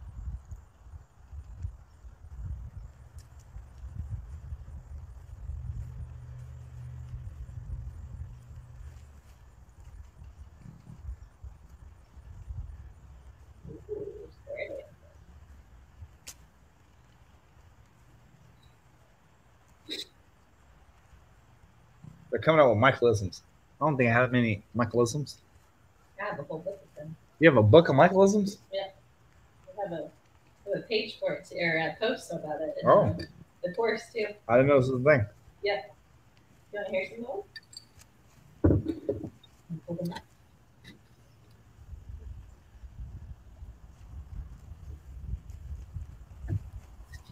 So, guys, watching this, this is what we want to see. It, it shouldn't be difficult to move the body parts of our horse. If it's difficult to get the horse to the speed that you want on the ground, it's probably going to be hard on the saddle. If you have a hard time moving the steering wheel, it's going to be hard on your saddle. If you have a hard time moving the body parts, it's going to be hard on. All these things get stiffer and stronger and harder to control the faster the horse goes forward. So if they can't do it in a quiet environment and setting like this, it's going to be hard on your saddle. Michael. Hi, this is Sasha with Olvar, my gelding, and um, Yay, we got a crop. I had trouble moving. I think we've made some progress. Nice. Doing a decent circle around me. Don't lead him through it, drive him through it. There we go. I want the that crop to parallel his body. So that means Almost like Liberty. Like yeah, almost like Liberty. There you go.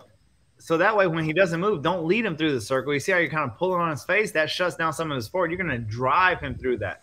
So when he doesn't want to go, you're going to bring that crop right to his flank, right to that back inside leg. That's going to drive Here him. I'm forward. moving on to square dancing. I There we go. Bring the crop towards. bend, There you go. Bring the crop towards him. I'm really struggling Okay, so the crop doesn't go up and down like the lead rope does. It comes straight towards him. The the lead rope goes up and down because that's the only way you can swing it and keep swinging it. The crop it activates differently. You're gonna bring that straight to him like a karate chop, right to his back leg or his flank, and he's gonna say, "Oh, oh, I need to move." And if you leave that crop between you and your horse and it parallels him very much like Liberty, well, then very quickly, wherever that crop goes, he wants to go. So when you want to move that shoulder, you bring the handle towards his face and his shoulder. He steps over. If you want to move that butt, the tip of that crop gets closer to him. For? So sassy though. I like it. I, I like the energy. Mean face on, even got a toboggan on, like a cholo, like an essay. That's it. Tell that pony what to do.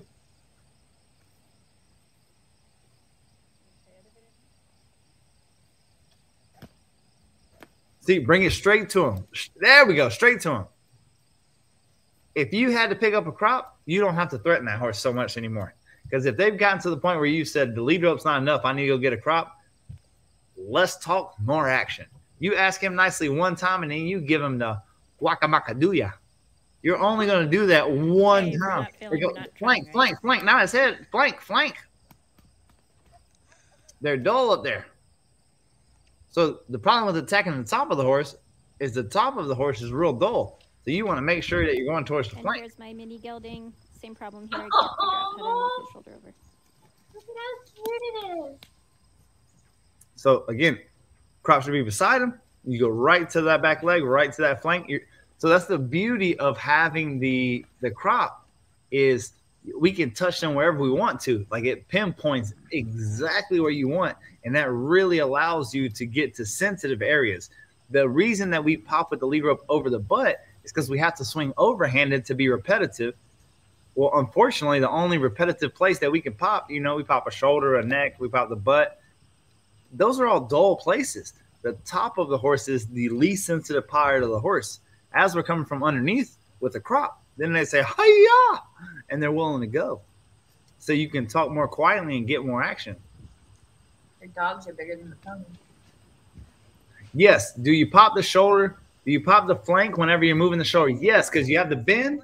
You're driving that horse forward, popping that flank if he stops, and then you start stepping towards his face while he's bent, uh, and keep popping him in the flank. Because if he stays bent and stays walking forward, he'll move his shoulder for you. Great question. You can lock your hand out straight to his shoulder too.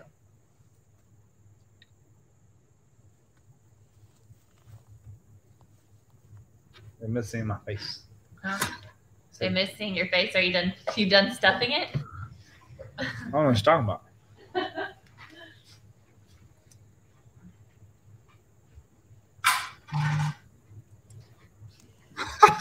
I'm back. Ate some dinner.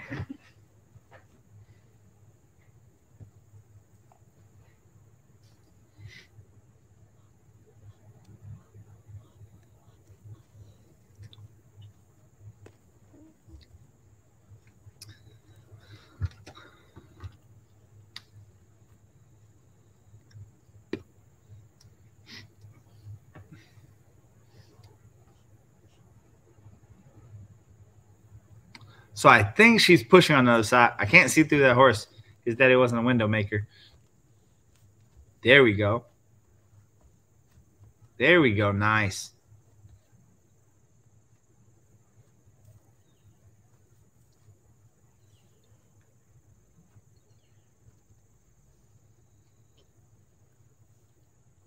So especially when I'm grabbing that horse by the by the reins, and we're doing some flexing here.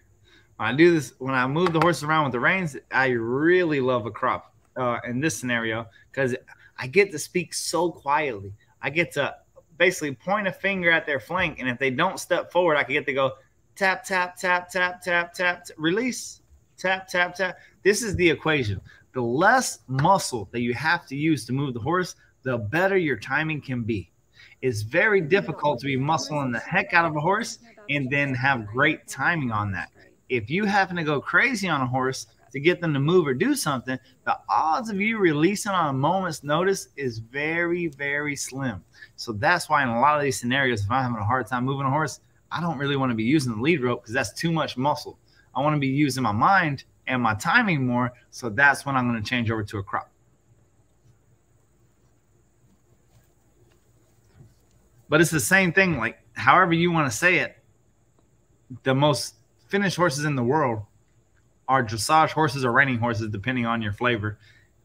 You can't meet a good dressage rider or a good reiner who doesn't live with the set of spurs on. Oh my gosh, spurs are horrible.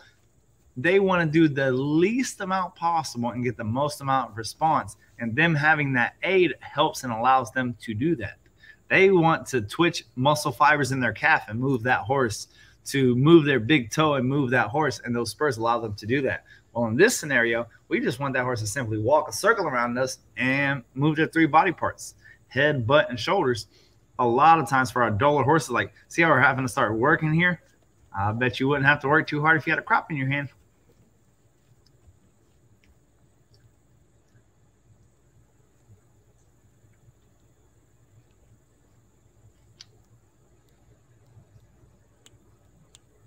Do you remember how much of the examples you used to crop on for first grade? Can't remember.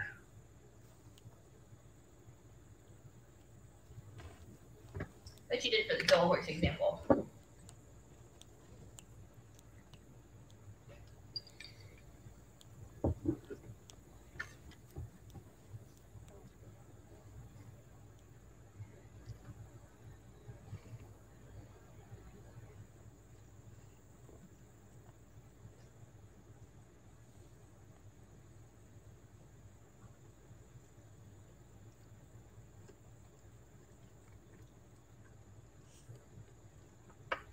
So this is definitely a guy I'll be looking to drive around me in a circle and make him think about me.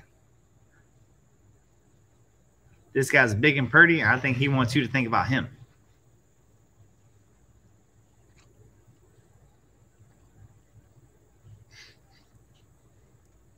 Lori says, really like the hot horse examples in the videos. Thank you from the dark side.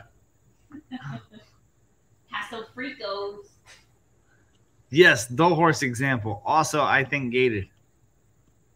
I think we have all the examples. If you guys knew how many, y'all are just seeing the videos that y'all are seeing. If you just knew how many videos I've made, I'm sorry. every time I'm I make a video of this, make a video of that, make a video of I'm this one. Sorry. People want the content.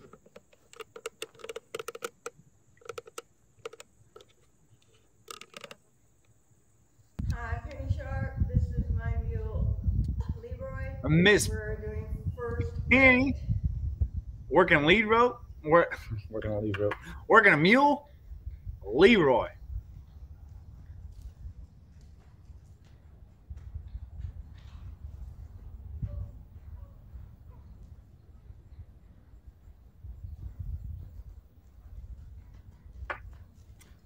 Miss Lori says, should we use spurs even for a, a sensitive Paso Fino or just a dull horse? Spurs scared me when I tried them years ago with my sensitive Paso mare.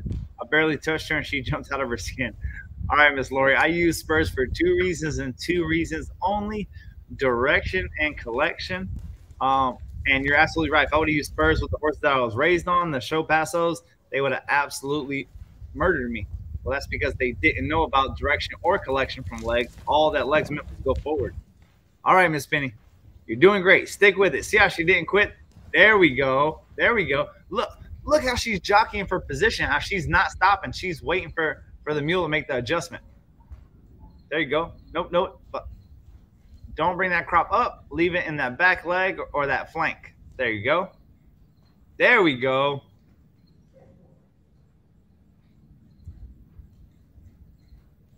Don't bring the crop up. Leave it down in between you and your, your animal. Very nice.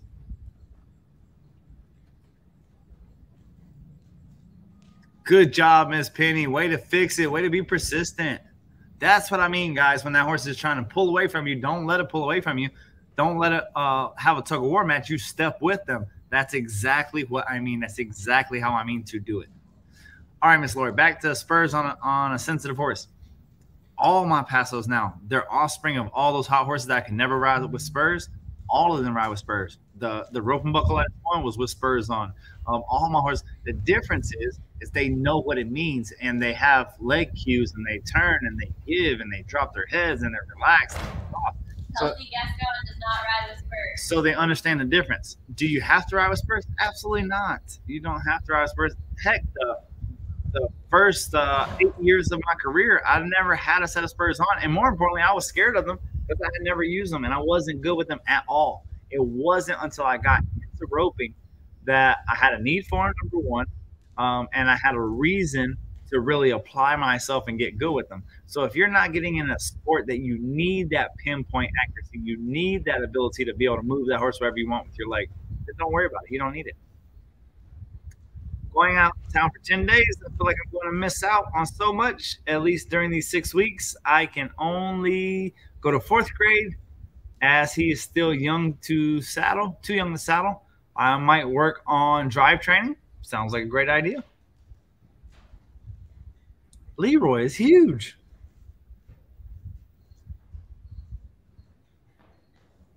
Leroy going to a retreat. I need to mentally prepare myself. No, she says she she's not bringing him to a retreat ever. She's bringing Fred. Okay. Are you making that up? You just want Fred. Yes. Fred.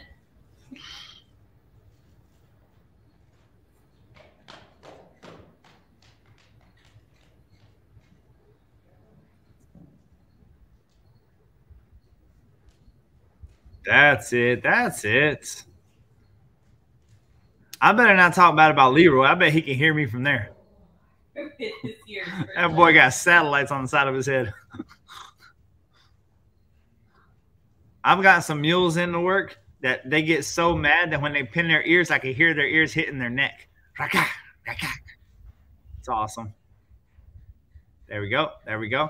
All right. So be aware whenever you show them that crop. A lot of times we'll show them that crop behind our body. So we think that we're pressuring the, the animal, but the animal can't see the crop because they can't see through us. So we have to make sure that we keep that crop between us and the animal so that they can continuously see it and know when we're pressuring them or not.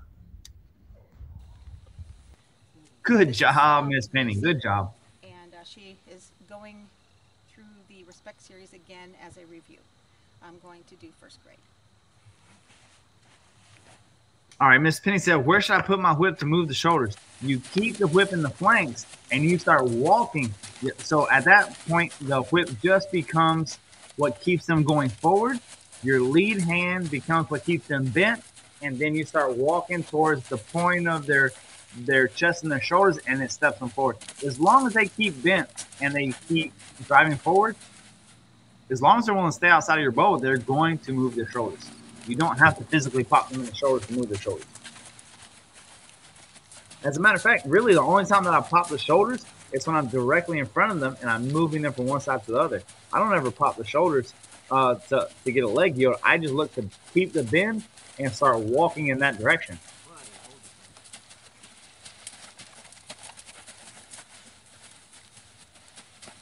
You're doing a great job, Miss Lawyer. All your horses look really soft. So here, every anytime that I have the opportunity to use the reins, that I have the reins on my horse, usually I'm gonna grab the reins. What you saw me Personal doing there, or what I was attempting to do. Hey. There we go. Back Um, there. but anyway, what I was attempting to do is, is uh, advance her a little bit with first grade to moving her hindquarters, and then I. Okay, so you're looking to advance her. I'm telling you, watch the difference. Change from your lead rope and grab a hold of those reins, and you will advance because you'll be able to talk. Qui- the the quieter you can talk and be heard, the more impact you'll have.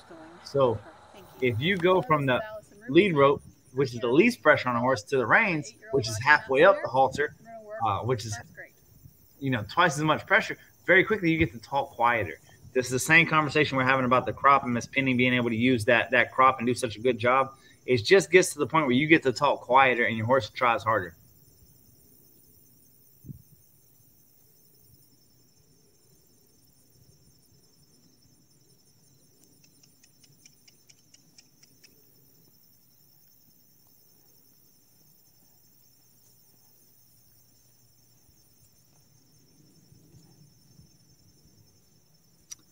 Miss Lori, if you want to use a, a crop to advance, you absolutely can.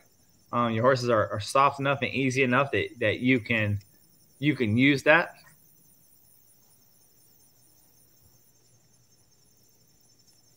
There we go. Good job. So I was about to say, make sure you get out of that blender where, where both of y'all are pause.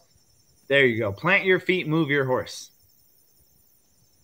It's very easy. You got to understand, this is a horse's natural instinct, the ability to get them to move your feet too. That's what they do with other horses. This is the game they play. So don't let them play that with you. If you move, if you find yourself moving your feet, find yourself moving your feet forwards and towards them. There we go. Nice.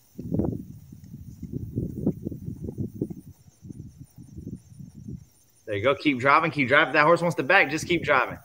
Try to take the, the tightness out of the lead rope whenever they're going backwards like that. Try to walk quicker what they're doing. There you go. Drop to that flank. Nice. There we go. That's what I like to see that belly in the reins. So when that horse makes a hot step on you, makes quick, it says, oh, maybe I shouldn't make quick steps because I run into you. If you have a tight rein the whole time, well, then there's no difference. That's it. Step to him. Mm-hmm.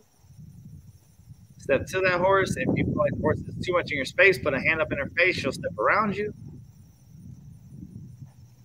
All right. Miss Michelle said, I have to admit, when I watched the videos for this week and saw that fourth grade was mounting, my heart came to my throat. I haven't even had a saddle on her yet.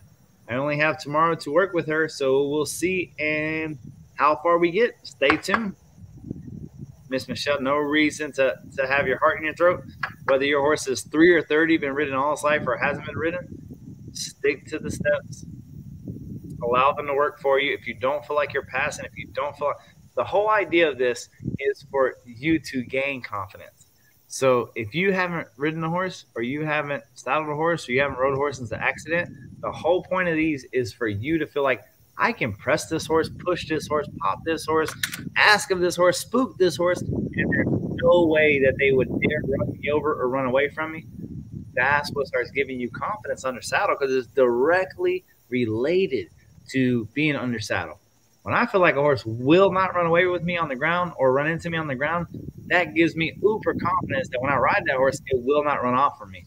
Um, I'll always be able to redirect it. So that's what we're trying for you to understand. And if you don't feel that way, well, then there's no reason to hop on until you do.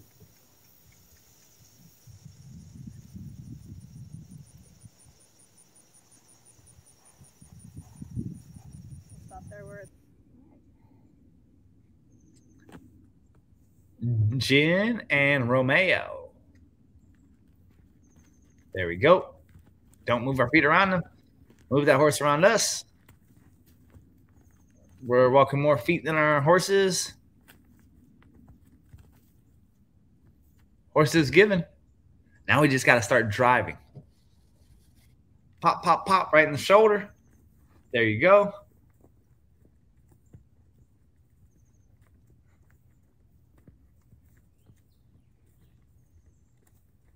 Pop, pop, pop. Drive that horse around you.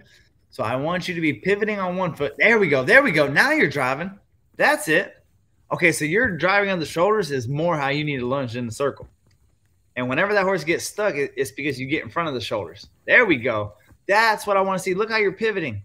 That's what I'm looking for. That so that's how first grade should be. You should be pivoting just like that, and then you can step in towards the horse. There we go. There we go. So it doesn't bother me at all when you move your feet, as long as they're moving forward towards that horse. So you had to push the shoulders to start thinking forward. So that shows you right now that your horse can pass. Now we just have to take our feet from moving. Good job.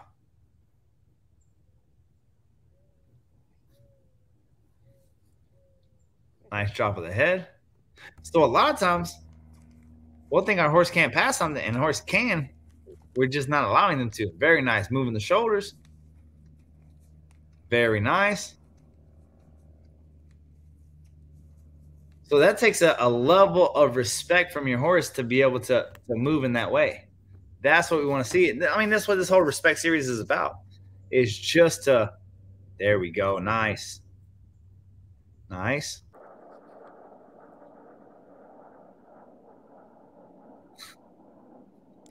She said she's rethinking the donut that she ate before the spinning. People ask me, how do you spin so much all day long and be okay?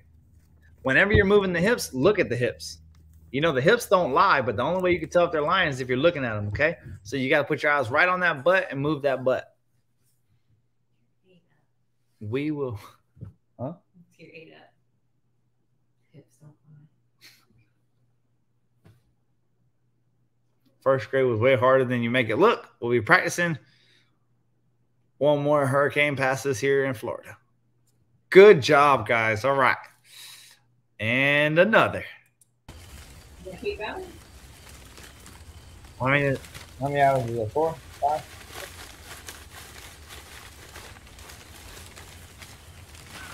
All right. How do you feel? It looks like it. Then,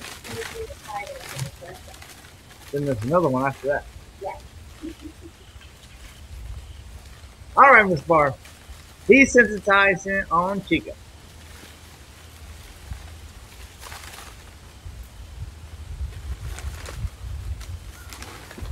Good job making it through the hurricane.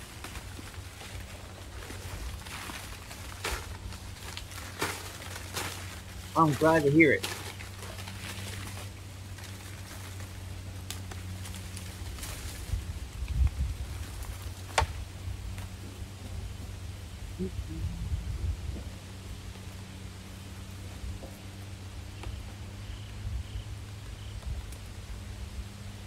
You gotta watch out for Miss Barf. She's always looking for the next thing. Look, she got a hula hoop.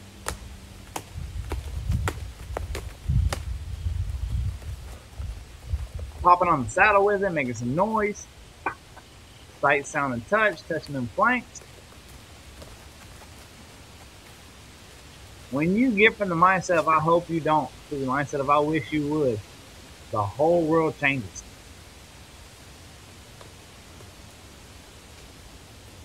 I think parenting is like that too. Those parents say, I hope my child doesn't act up. Oh, that baby gonna act bad. That parent says, I wish you would. Them babies, they act real good. Yes, sir. Yes, ma'am.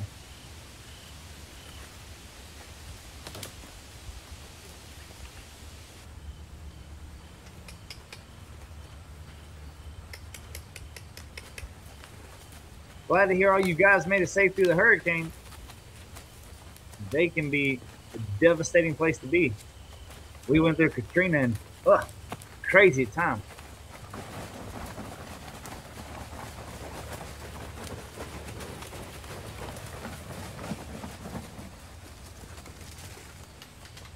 Guys, so we're talking about, you know, oh, this horse couldn't hold spurs because it's hotter sensitive. This is a firecracker of a filly. Like this little Paso filly, I mean, wired for sound like Kramer on Seinfeld. And look, she is carrying carrying the whole warehouse's tarp on her back. That just goes to show you it's not about the breed, it's not about the hotness, it's about the conditioning in which you give to your animal. What is the norm of what they expect.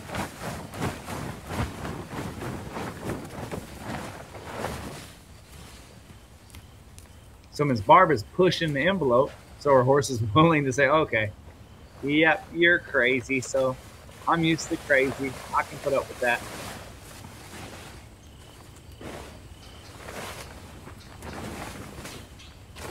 During first grade, she was extra sensitive on the left, but during this, she was fine. Go figure.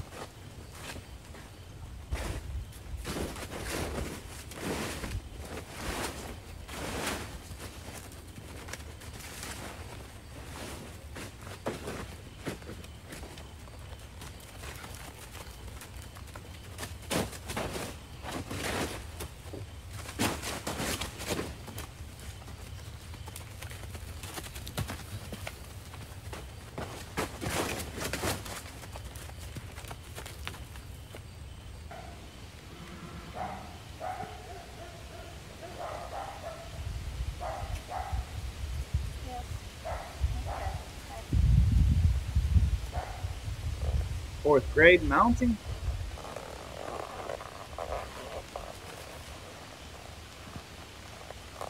Very nice.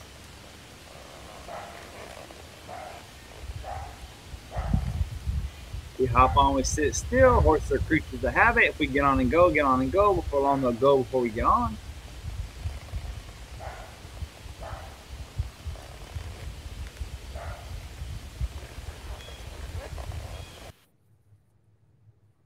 All right, Miss Jen, working on Romeo.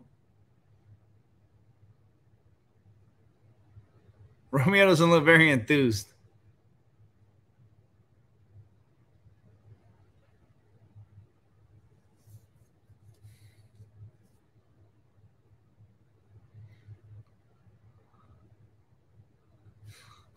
Romeo looks cool as a cucumber. He's like, yep, yep.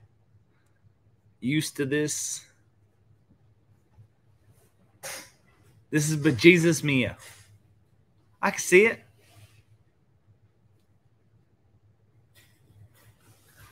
Well, tell Mia she's doing a heck of a job.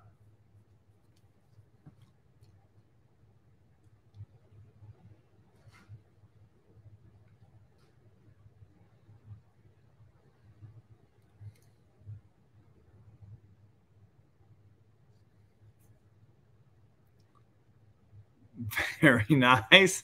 I like the energy.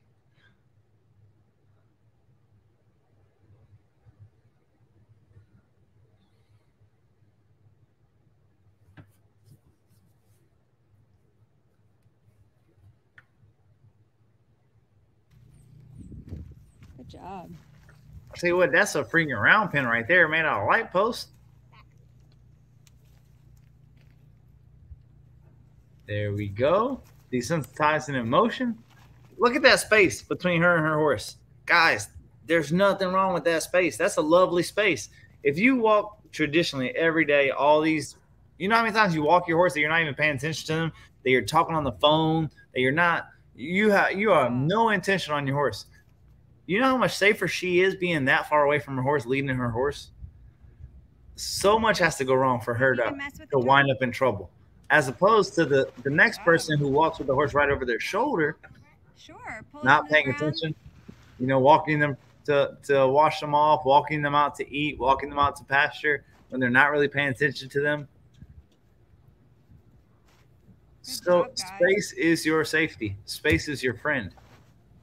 And you can still kiss your horse in your mouth or, or, or give it a cookie out of your mouth. I don't care about that stuff. Just as long as when you do it, it's on your terms.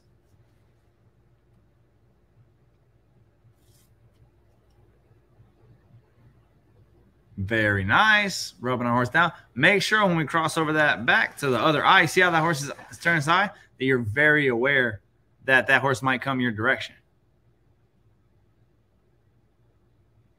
Last thing you want is a horse running from the flag. See, see how it, your horse turns its head to the opposite side? Anytime we cross that spine, we're very aware of what we're doing.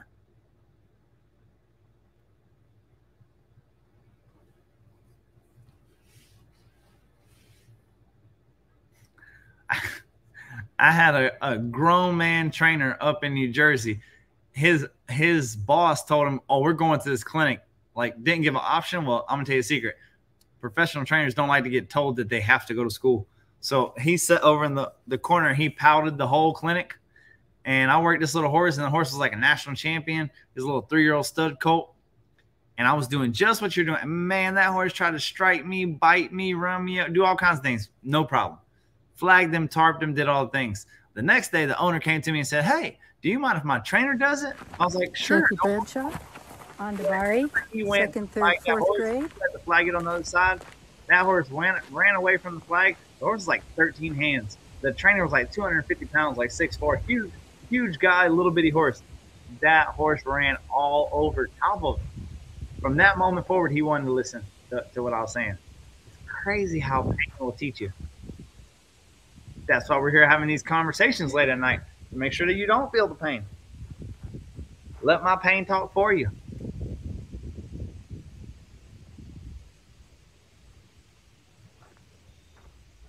Yeah, yeah. Good helicopter. I like it. Good rope control.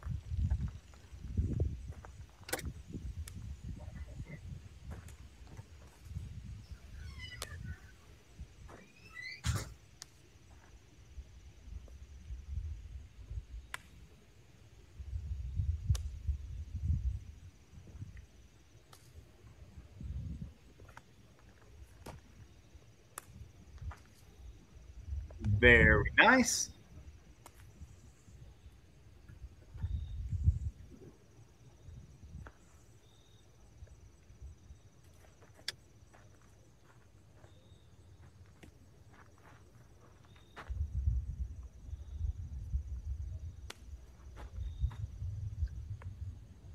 So you guys are really starting to understand the concepts of what I'm looking for in these clinics.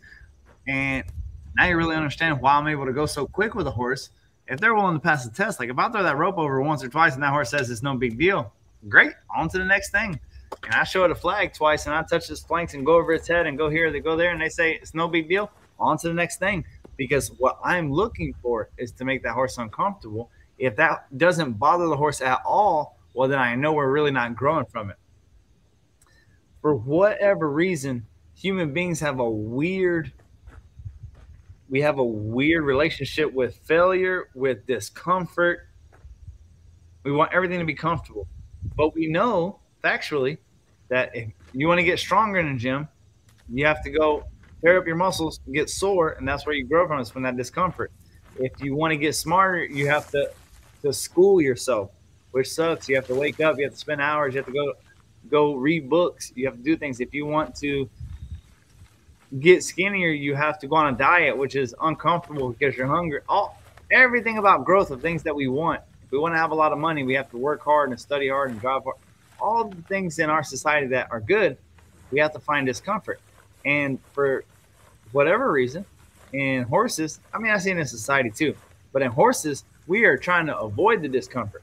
So whenever I'm doing these things, when I see that horse licking his lips and he just has no problem with it, boom, I'm on to the next thing. Boom, I'm on to the next thing. Boom, I'm on to the next thing. And if I go to enough next things, I'm gonna run into something. he's like, oh, what is that? And that's what I'm looking for. I'm looking for that adaptation from discomfort. I'm looking for him to show me who he is when he's uncomfortable. And then from there, we can make it easy. After you find what makes them uncomfortable, what is the next step? Depends on what makes them uncomfortable. If it's a desensitizing thing and I'm asking them to stand still, keep doing it, keep doing it until they stand still. If it's desensitizing in motion and it's getting them to turn left, well, keep sending them forward and turn them left. Keep sending them forward, turning them left. If backing them up makes them uncomfortable, keep backing, keep backing. Basically, do it till they don't suck at doing it. They don't have to pass with a, a 4.0, but they have to pass. But when I see that they're uncomfortable when we go through something, I know that I'm getting the most bang for my buck. I know I'm getting the most return on my investment. I know my client is getting the most out of my time. And I think of me working a horse like return on my investment. I want for every drop of sweat that I put out, that I am teaching that horse the most that I can, that they are learning the most that they can, that they are getting the most from their interaction with me. Uh, the same reason we go through these videos, and I like try to explain to the very simplest that I can for you and try to go as in depth as I can with you guys. Because if you have the audacity to be up at this hour of night watching videos and studying, you deserve the best information. So I want you guys to get the most for your effort, the most for your money. Um, so same with the horse. I know I'm going to get the most out of them if I'm doing something they're uncomfortable. If they're comfortable, if they're easy at it, they're not the the learning curve there isn't going to be the same as if I'm doing something that they're not okay with. That's where this thinking comes from. That horse is doing great. And if it was the first session and we're going through this, that is perfect. Uh, you know, we're seeing who this horse is and what's going on. But outside of that, I see this horse here. I might desensitize that horse one day, maybe two. And I might not pull out a tarp around this horse because he's already saying, dude, I'm good with the flag. I'm cool with the fly. Okay, well then this horse I might be working on spins or I might be working on side. You know, I might be working on something else. I'm gonna find whatever he doesn't like, and that's probably what we're gonna work. On. But you guys are doing awesome.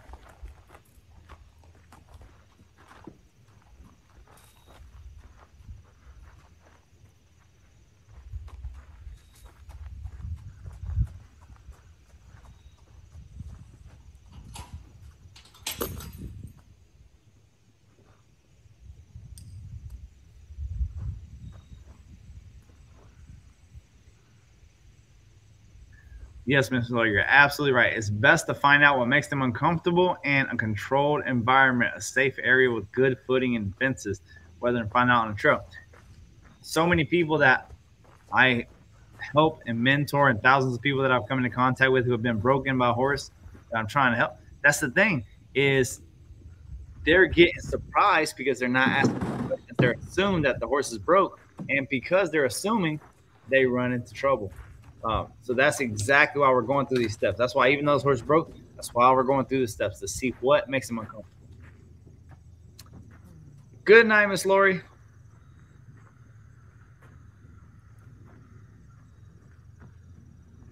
She says she's too tired to see.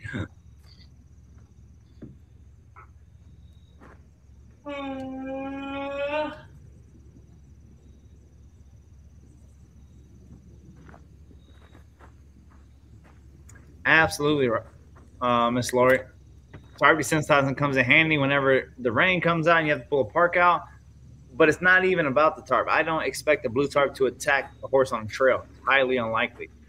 What I'm looking to do is trigger that flight response, that prey response, that discomfort, and then show them how to deal with discomfort. If you think about it like this, it's not a horse's fear that hurts you. A horse can be super afraid and not hurt you at all. It's their reaction uh, to that fear. As a matter of fact, a lot of people get hurt by horses with the horse having no intention of hurting, with no malice in them, not trying to hurt the person at all. So if that's happening, you know, it, it's the reaction that you're getting is what's hurting you. So we're trying to curve that reaction. How do you get somebody to respond better under distress? Put them under distress multiple times. Hi, this is Jody Blazer, and this is Fia in the background. And we have passed kindergarten and we've desensitized and she can pretty much go through all the grades. However, I figured we would still work on a couple of things that bothered her and one of them is the bag of cans. So that's what we're going to do today. We've already taken the flag stick to her nose, which she does fine. All right, back with Miss Leah.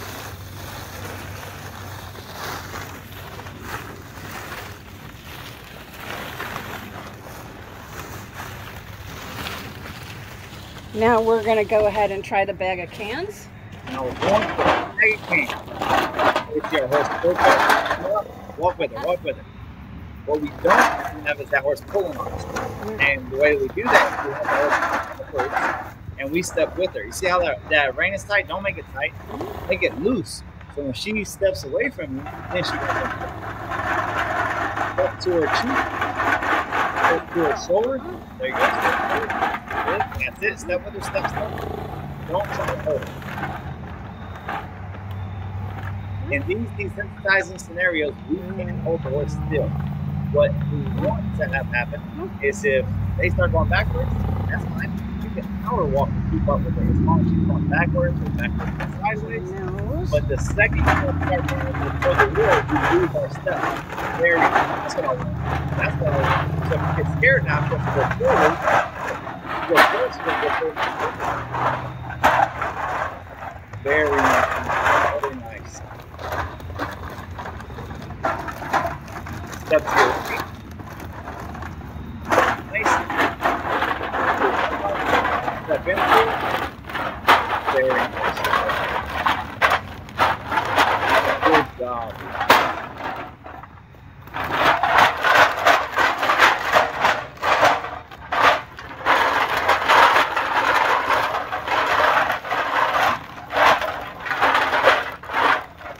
Speaking of can bags, I need to make me a new can bag. My car has so many horses that doesn't Now we're going to try to drag the cans.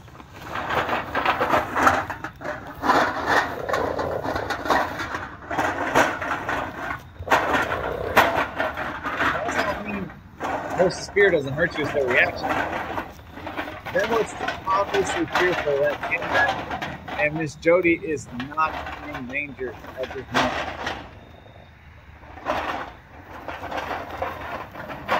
Now, see, in this moment, it's all about making sure that that can't, you know, it's the horse. But what I'm saying is that horse isn't reacting hard. That horse isn't running over. That would be a reaction. Or running rearing. That would a That's why we're doing this. We're doing this.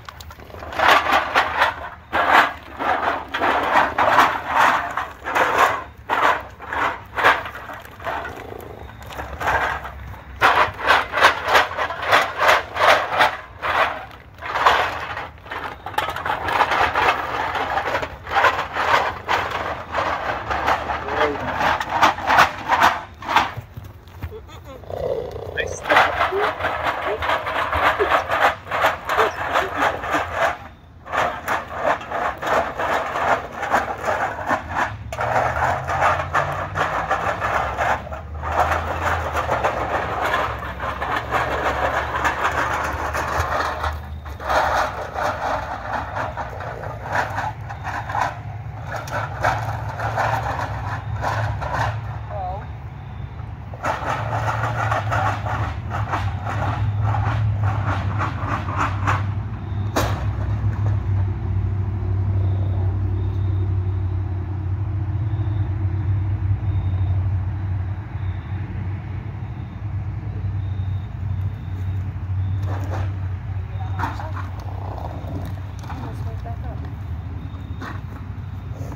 Good can bag, Miss Jody. And good work with your pony. I need to make me a new can bag. don't realize how dull mine's gotten. In all Come on, fairness, let's get back in the camera shot. mine could probably just Come here, you. ride a horse by itself. It has seen some action. Good girl. Whoa.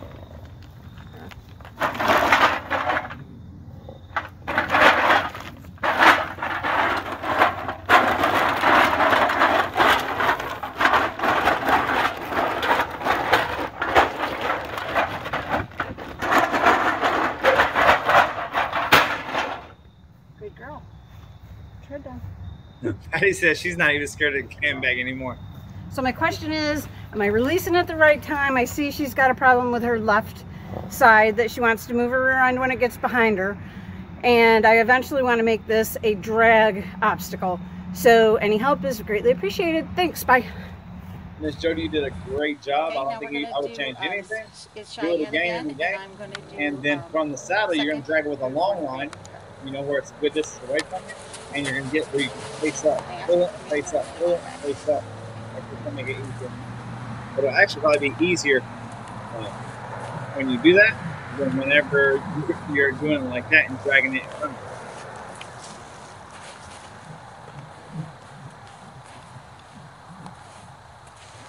problem there. Miss Lori, you're like a ninja. Doing that rope so fast with the saw a mistake already. I should not have put that up there. She's very calm, but if she wasn't calm horse, I could have been hurt. Okay. Already figuring out what to do. Wrong. get down.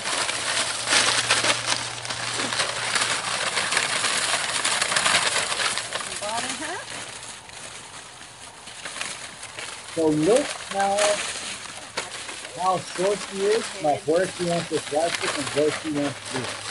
If she's been putting in that work for a couple years now, she already knows she's very thoughtful about where she's standing and where the flag stick is at all times. She's had a lot That's what the practice does for you. That's what multiple issues does. for you. sensitizing over the Uh, that's what going through the steps does. for you. She made a mistake that nobody noticed of that flag getting past her eye, just picking it up. She said, "Oh, I probably shouldn't have done that." What she's saying is, if that horse was a real ranker, and that flag ends up behind her eye while you're in front of her eye, it'd be a bad day. Kind of muffled. Sorry, I'll get closer. I'm just saying what a badass Lori is and how good of a job she is doing. You can tell how practiced she is, how she's been doing this for a couple years already on multiple horses, and because of that, because of that, she has gotten a lot better. She's very thoughtful in where she stands, where that flag stick is.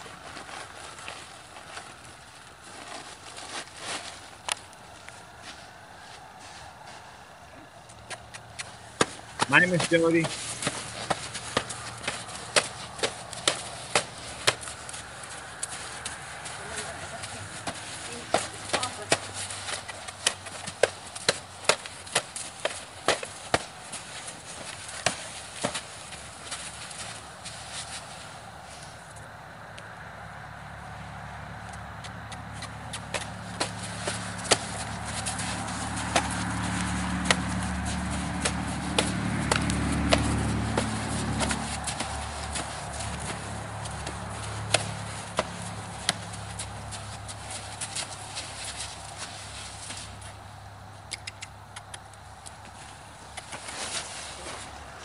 Nice, desensitizing emotion. Got left and right, got back up. When you see people doing this, and you see them backing a horse over the tarp on their back, and you see it make it look so easy, it makes you second guess the horse that you've ridden in your past. You're like, oh my gosh, my whole childhood was filled with rank horses. I didn't even know it. I just thought it was normal. So you got to be careful with your normal.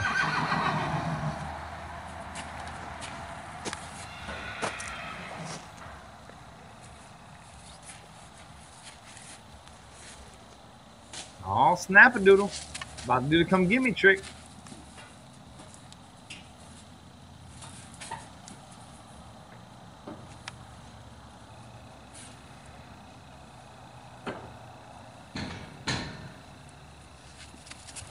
Oh, that horse is already thinking, come. Valet Park. There we go. So if you're wondering why she's on a fence versus the mounting block, is the that fence is actually a lot safer than the mounting block. That mounting block is easy to get bumped off of or get pulled off of. You can latch on to that gate like a spider monkey and hold on whenever that horse wants to step away or step into you.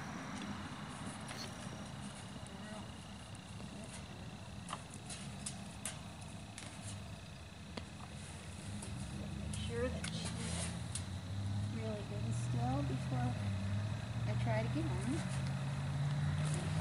Deactivated that other eye, stepped right on. Good job. Dark, so we. Don't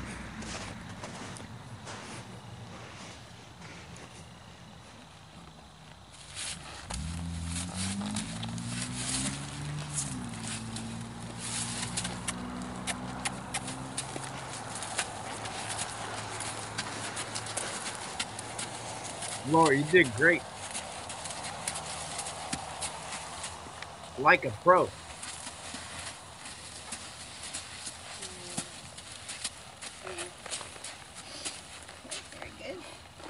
Also, if you ever get on the horse and the horse tries to move off and you don't have a set of reins, you can also grab hold hold their ears and pick up on it and it'll stop them too. Just in case. What's going on, Derek?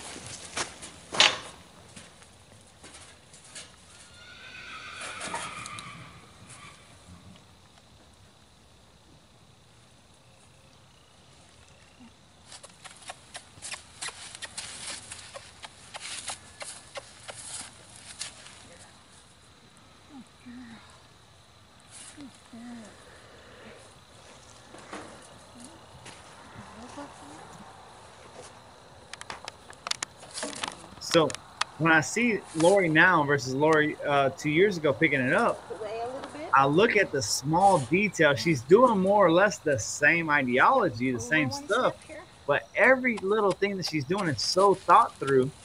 Like, and she's so specific about how she sits, where she stands, where she's asking that the horses look so slick. Like the horses are, are understanding, it's clear to them. They're doing exactly what she wants them to do. And that's because she has everything thought through. Unfortunately, the only way to get this slickness is yet you need good information. That's right. If she's not in the perfect place, call her. Why don't you go from the The only way to get it that thought through is to focus on it for a long amount of time.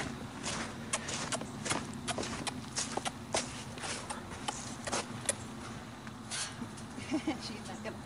She's like, okay. You gotta do Absolutely. If the way you there's did it before. ever a question with the come get me trick, call them back over. It's better to crop on them than for you to have to jump towards the saddle. A lot of times, what I'll do here in this position, you see how that shoulder is touching the gate? Push her face away from you a little bit. And that will actually bring her hip towards you. Stay this time. As we gather up the rope. All right, Derek is saying he doesn't have sound. Does everybody else hear me? Out of fence here. She's backed up. If you can hear me, what I'm saying is, if you're doing a come get me trick and you feel like that horse can't get close enough, in this situation, push that horse's face away from you, and it'll bring the, the saddle I'm over guessing I probably should have taken another her. six inches. I'm guessing I should have taken her just a little further up the up the uh, fence because I kind of ran out of fence here. But uh, we're getting the basics and looking for any any tips that you can. Yep. So if she's asking for any tips, that I mean that's the only tip. Um, we, we do this on the bench here in these barns every day, all day, and a lot of my students will, will run into the same issue where they're having to kind of jump to the saddle, and that's because the horse eagerly comes right over to pick them up from the from the bench. Every single training horse we hop on in the barn and on the benches, but when that horse is eager to come over, they'll come face first, shoulder first, and if at the last moment you don't push their face away from you a little bit, well then a lot of times that's third, and fourth. their front feet touch the bench and the saddle's still a little bit out of range. And you either end up jumping or you start learning how to push their face away a little bit.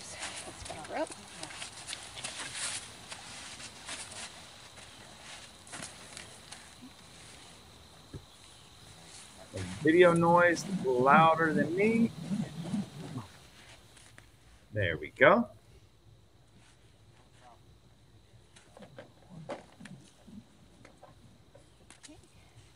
Good night, Miss Penny.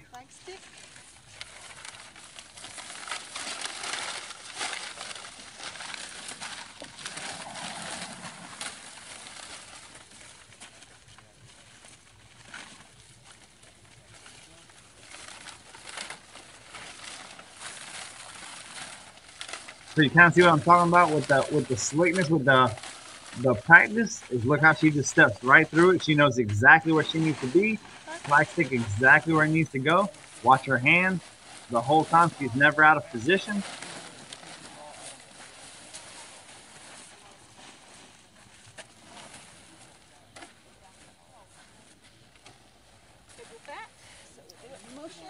Good night, Miss Lori.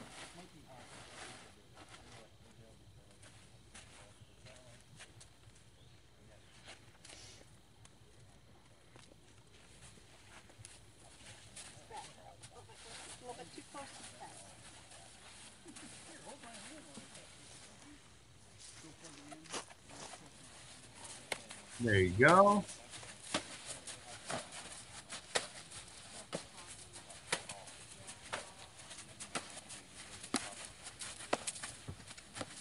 So, Miss Lori, I don't know if you're popping on the saddle for desensitizing or if you're doing it to move her. If you're doing it to move her, she's moving, so stop. And if you're doing it to desensitize, do it a little bit more sporadically so it's not so patterned. So right there, you move her off. Now relax, let her move, and then out of nowhere, smack this saddle. Ah! And that's how you're going to get more of a reaction out of her.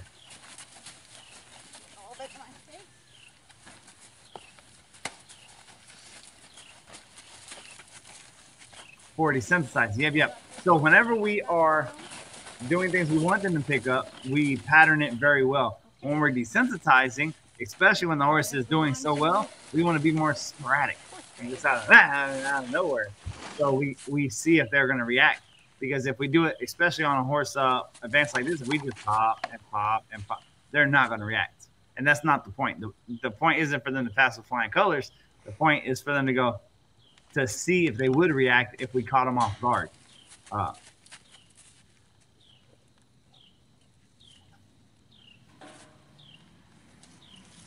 there's so much of the training in the future of us going through the respect series and then go going through the the horse college and getting your master's degree and your doctorate, all these things that we have lined up in the future that's going to be so patterned. Through this, a lot of the stuff we are the desensitizing and things like that, we are trying to to spook the horse or get a rise out of the horse or have that confusion of I don't know what to do. So they they really start listening. Gather up my rope. She's gathering up her rope. Back just a little.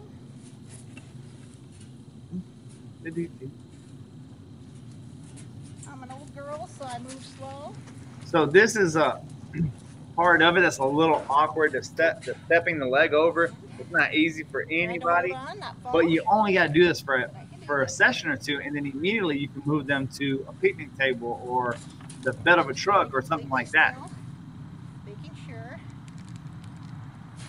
Okay, then I'll slide on. Sit here for a few minutes. Another good girl. Very nice. I prefer getting on from the mounting block. She's she will do it from the mounting block too, but I just wanted to get on the fence to to complete the So exercise. so the video I can't I don't know if you guys can hear it. She's saying she she does the mounting block as well. That is the the ultimate goal for all of them. But we think the less stable something is, that's the more finished horse that we call over there. The greener horse is for the come give me trick, the more stable we need. So a gate, um, a fence, something like that. And then we start weaning them off of that and we start going to a picnic table, the bed of a truck, uh, something that they can't knock us off of. Just like everything else with horsemanship, when we're asking them to do things that sometimes they don't know how to do, we expect them to get uncomfortable. We expect them to get the wrong answer. And we always want to have ourselves in a place where we feel confident, where we feel safe to continue to pressure them. Uh, so that's exactly why this young lady is using her gate to do the come get me trick. It's because if that horse got fussy and tried to run away, well, she can hold on to the gate and hold on to her horse. If that horse got fussy and bumped into her, she's straddling a gate so she can clamp down and keep pressuring the horse, even if that horse is bumping into it. Feeling myself. Okay, she's being nice and still. On we go. Very nice. And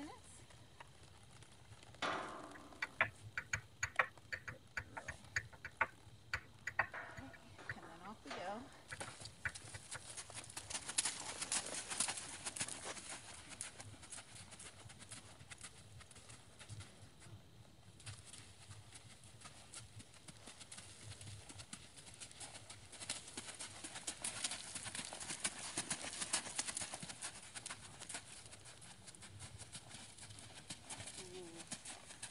All right. We, here we are. Okay. Good job. Okay, so after she played with it herself, now we're just going to kind of. She goes, Oh, yeah, like. and like I said, I've desensitized her before, not with a feed bag, a flag and a stick and all that, but not with a feed bag. But you can see she's real.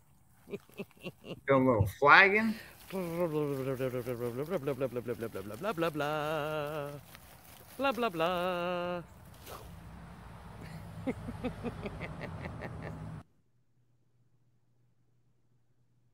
I'm Lori, and this is Picadora, and we have problems with speed issues, and I need to be more clear on rating her speed. All right. So this is Miss Lori, another Miss Lori. And she nicely will walk with her head down. She'll stand here with her head down and be a good girl. But our problem is speed.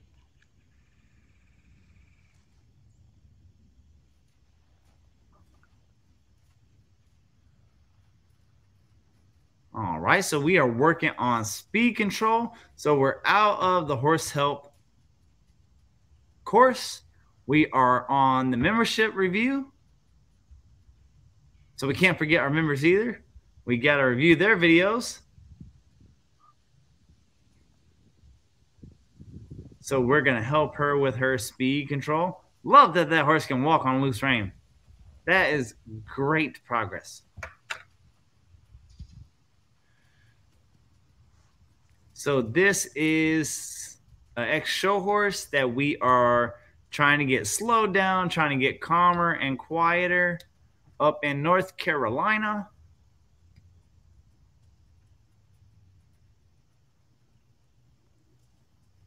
So she's working on getting her soft, getting her easy, putting her head down. The issue she's having is when she picks up the motor, being able to turn it back off.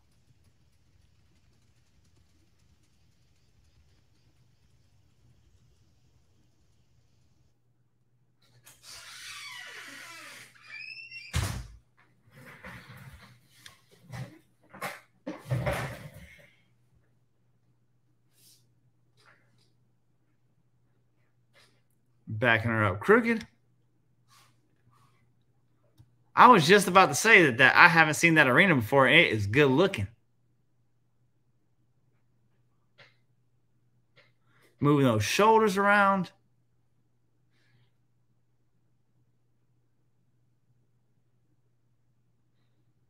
So Miss Laura's really got kind of figured out that the ability to take that horse off center is to take the, the power away from the horse. So the more we can bend them, the more we can use them, the more we can use that circle that we're not holding them back in a straight line, the less explosive that they become because we're not pulling on them. So, I mean, basically, she's leg going all the way around that circle to ultimately back up crooked and release. So you're talking about a young lady who who has done this been there, done that, shown horses, uh, and it's now really getting into the horsemanship side and really studying on it. And it shows for what she's trying to do. She's trying to get that horse softer left and right. She's trying to get that horse uh, to drop his head even more. And that's directly going to help. It's very difficult for this horse to give her too hard of a time because she isn't playing this horse's game. Look at that horse is always off center. So what happens with a, a mare like this, uh, what I'm getting at is a show horse that kind of gets stuck with their RPMs on. Where that becomes explosive is when they get stuck in a straight line and we're trying to hold back on them. And the more we hold back, the more excited they get, and the RPMs get stuck in the red line. And we, even we though we left our foot off of the good job, love that. When we take our foot off of the gas pedal, they don't slow down. That's when they pop and they get explosive. So I love to see this mare. How you got her dropping her head, dropping her head cuts off the adrenaline pump and you're taking her off center, you're not trying to hold her in that straight line. There we go. Look how low her hands are. A lot of times you ride the gaited horses, they pick their head up. We automatically want to pick our hands up.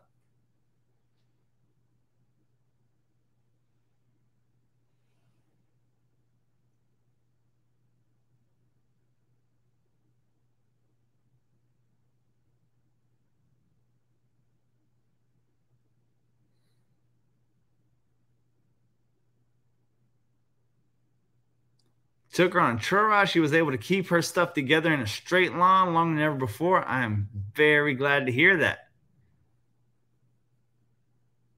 So this horse is is giving so well that this horse, as Miss Patty, she has a, a, Tennessee Walker mare that's very similar. It's very hot to trot, very very hot to go in. She was having an issue translating that out and about.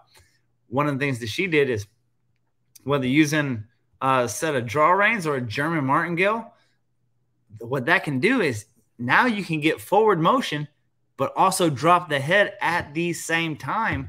And what we can get out of that is as we're going forward, we can cut off the adrenaline pump. So I see this mare when she's walking, she's completely relaxed.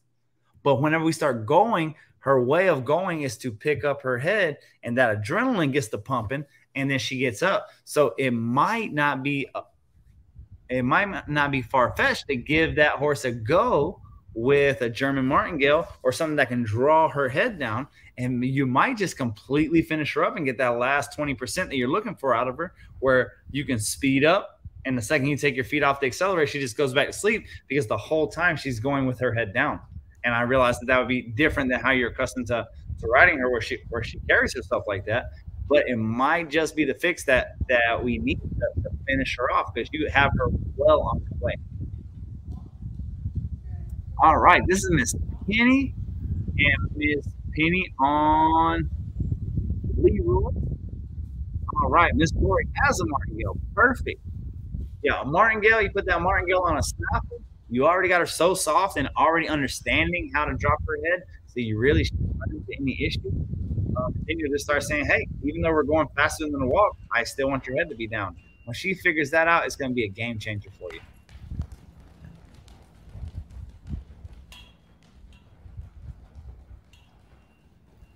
That is a huge mule.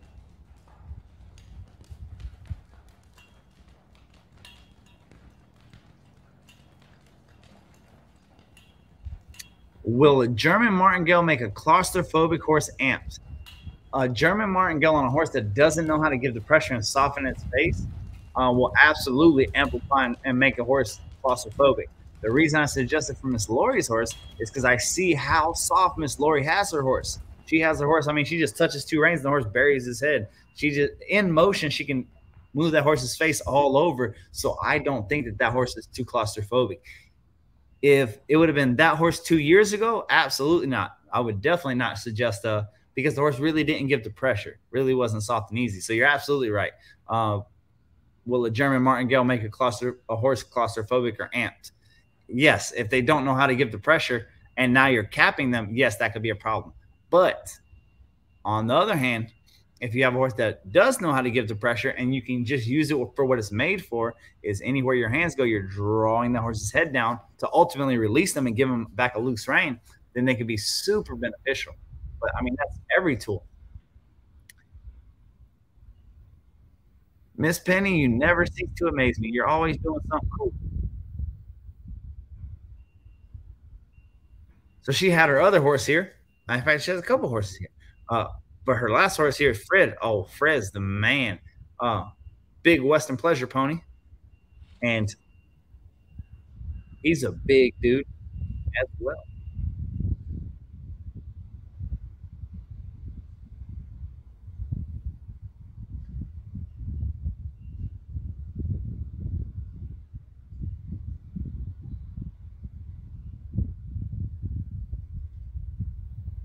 So remember, don't mule up with the mule. If they lay on you, bump, bump, bump, bump, bump, and bump it in a way where you're not using force, you're using friction. I don't want to get stuck in. I never want a mule to lay on me or to ever have that constant straight line between my hand and their face because they get out persistent. I know that's hard to believe because you are a woman and women are persistent, but that's a mule. Hey. that is a mule, and they don't call they don't call mules stubborn for no reason.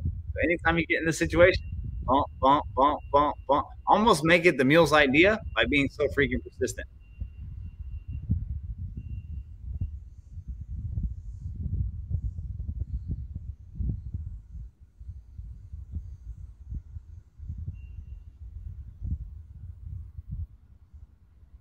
Nice. Good job. That's about as good as I've seen constant contact go with a meal ever. Good job on being persistent.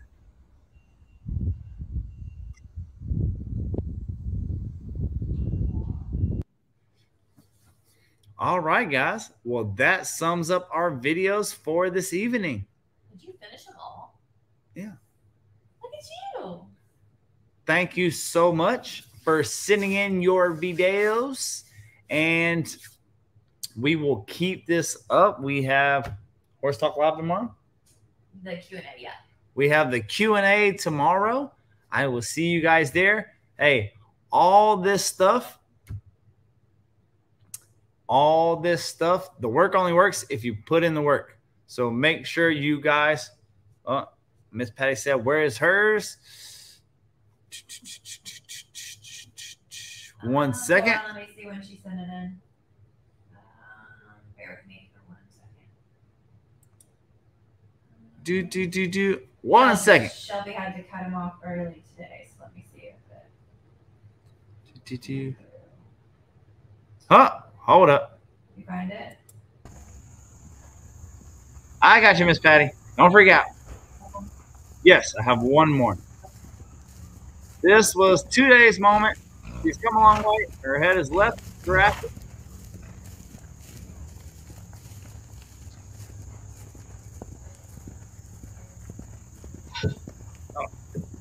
This is Miss Christine. She loping her horse.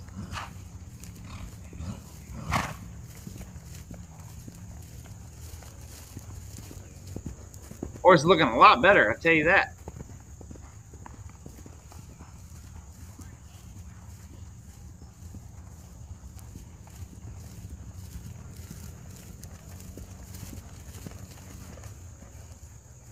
Very nice. Very nice. Did you see her take her leg off that the gas pedal? And the second she did it, that horse was like, oh. You want to ride horses around like you have uh, engine brake. I don't know if you, any of you guys have ever been in a big truck, but when you let, let your foot off the gas, they go whoa, whoa, whoa. That's just what Miss Christine did with her horse. She was gassing, gassing, gas. Whoa. That's how our colt starts. In two weeks of riding, two and a half weeks of riding, every colt start that I have on the place, when I'm loping them around, the second I take my legs off of them, they are coming back down to me. And so much of it is just the way that you condition them uh, to listen to your seat. So right there, her legs are on her horse. She's driving. She's driving. Loosen the hips. Legs wrapped around her horse. Riding one hand. Look at her eyes. How her eyes are ahead of her horse. She's not looking at her horse. She's looking where she's headed. She's looking where she's going. See, look look at her. Look left. Very good job. I'm telling you, that right there is years of practice right there.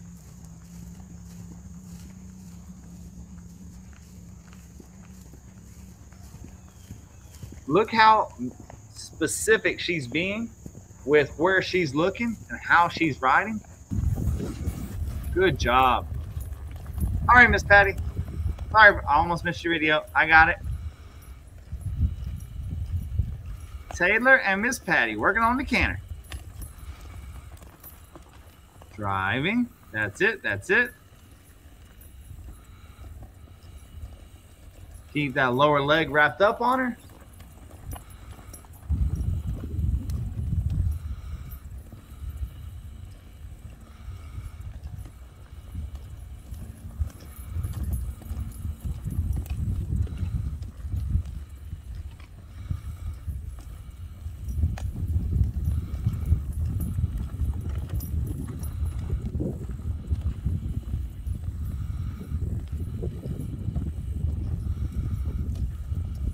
All right, Miss Patty. So if you want to get from that four beat to more of a three beat, let's wrap those lower legs on to pick her belly up. Sit a little further back over her butt, and then use more of the arena where she can go somewhere where she can use herself a little bit more. You put those things, three things into play, and you should be able to to get her from four beat to three beat.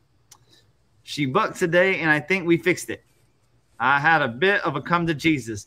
Well, sometimes you just got to get a little religious, if you know what I mean. Good job. Way to take your horse to Sunday school. All right, Miss Wendy and Fireball. See what we're working on. We are working on a spin, step around.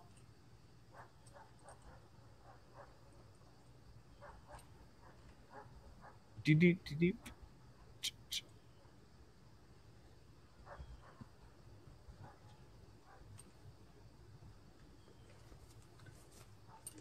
Hey, hey, Luisito. All right, Miss Wendy. I think we're trying to work on a step around. Maybe we're moving the horse's butt.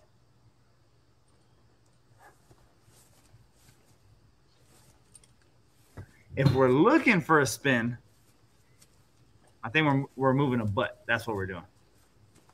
There we go. Okay, okay. So she's pivoting on the forehand, getting prepared for. Gotcha, gotcha, Miss Winnie. Completely understand. So we're looking to move that horse's butt. So she is sitting on her outside and driving her hip to the inside. This is the prep work, the groundwork for flying lead changes. This is the ability to take your leg off and move that hip that direction.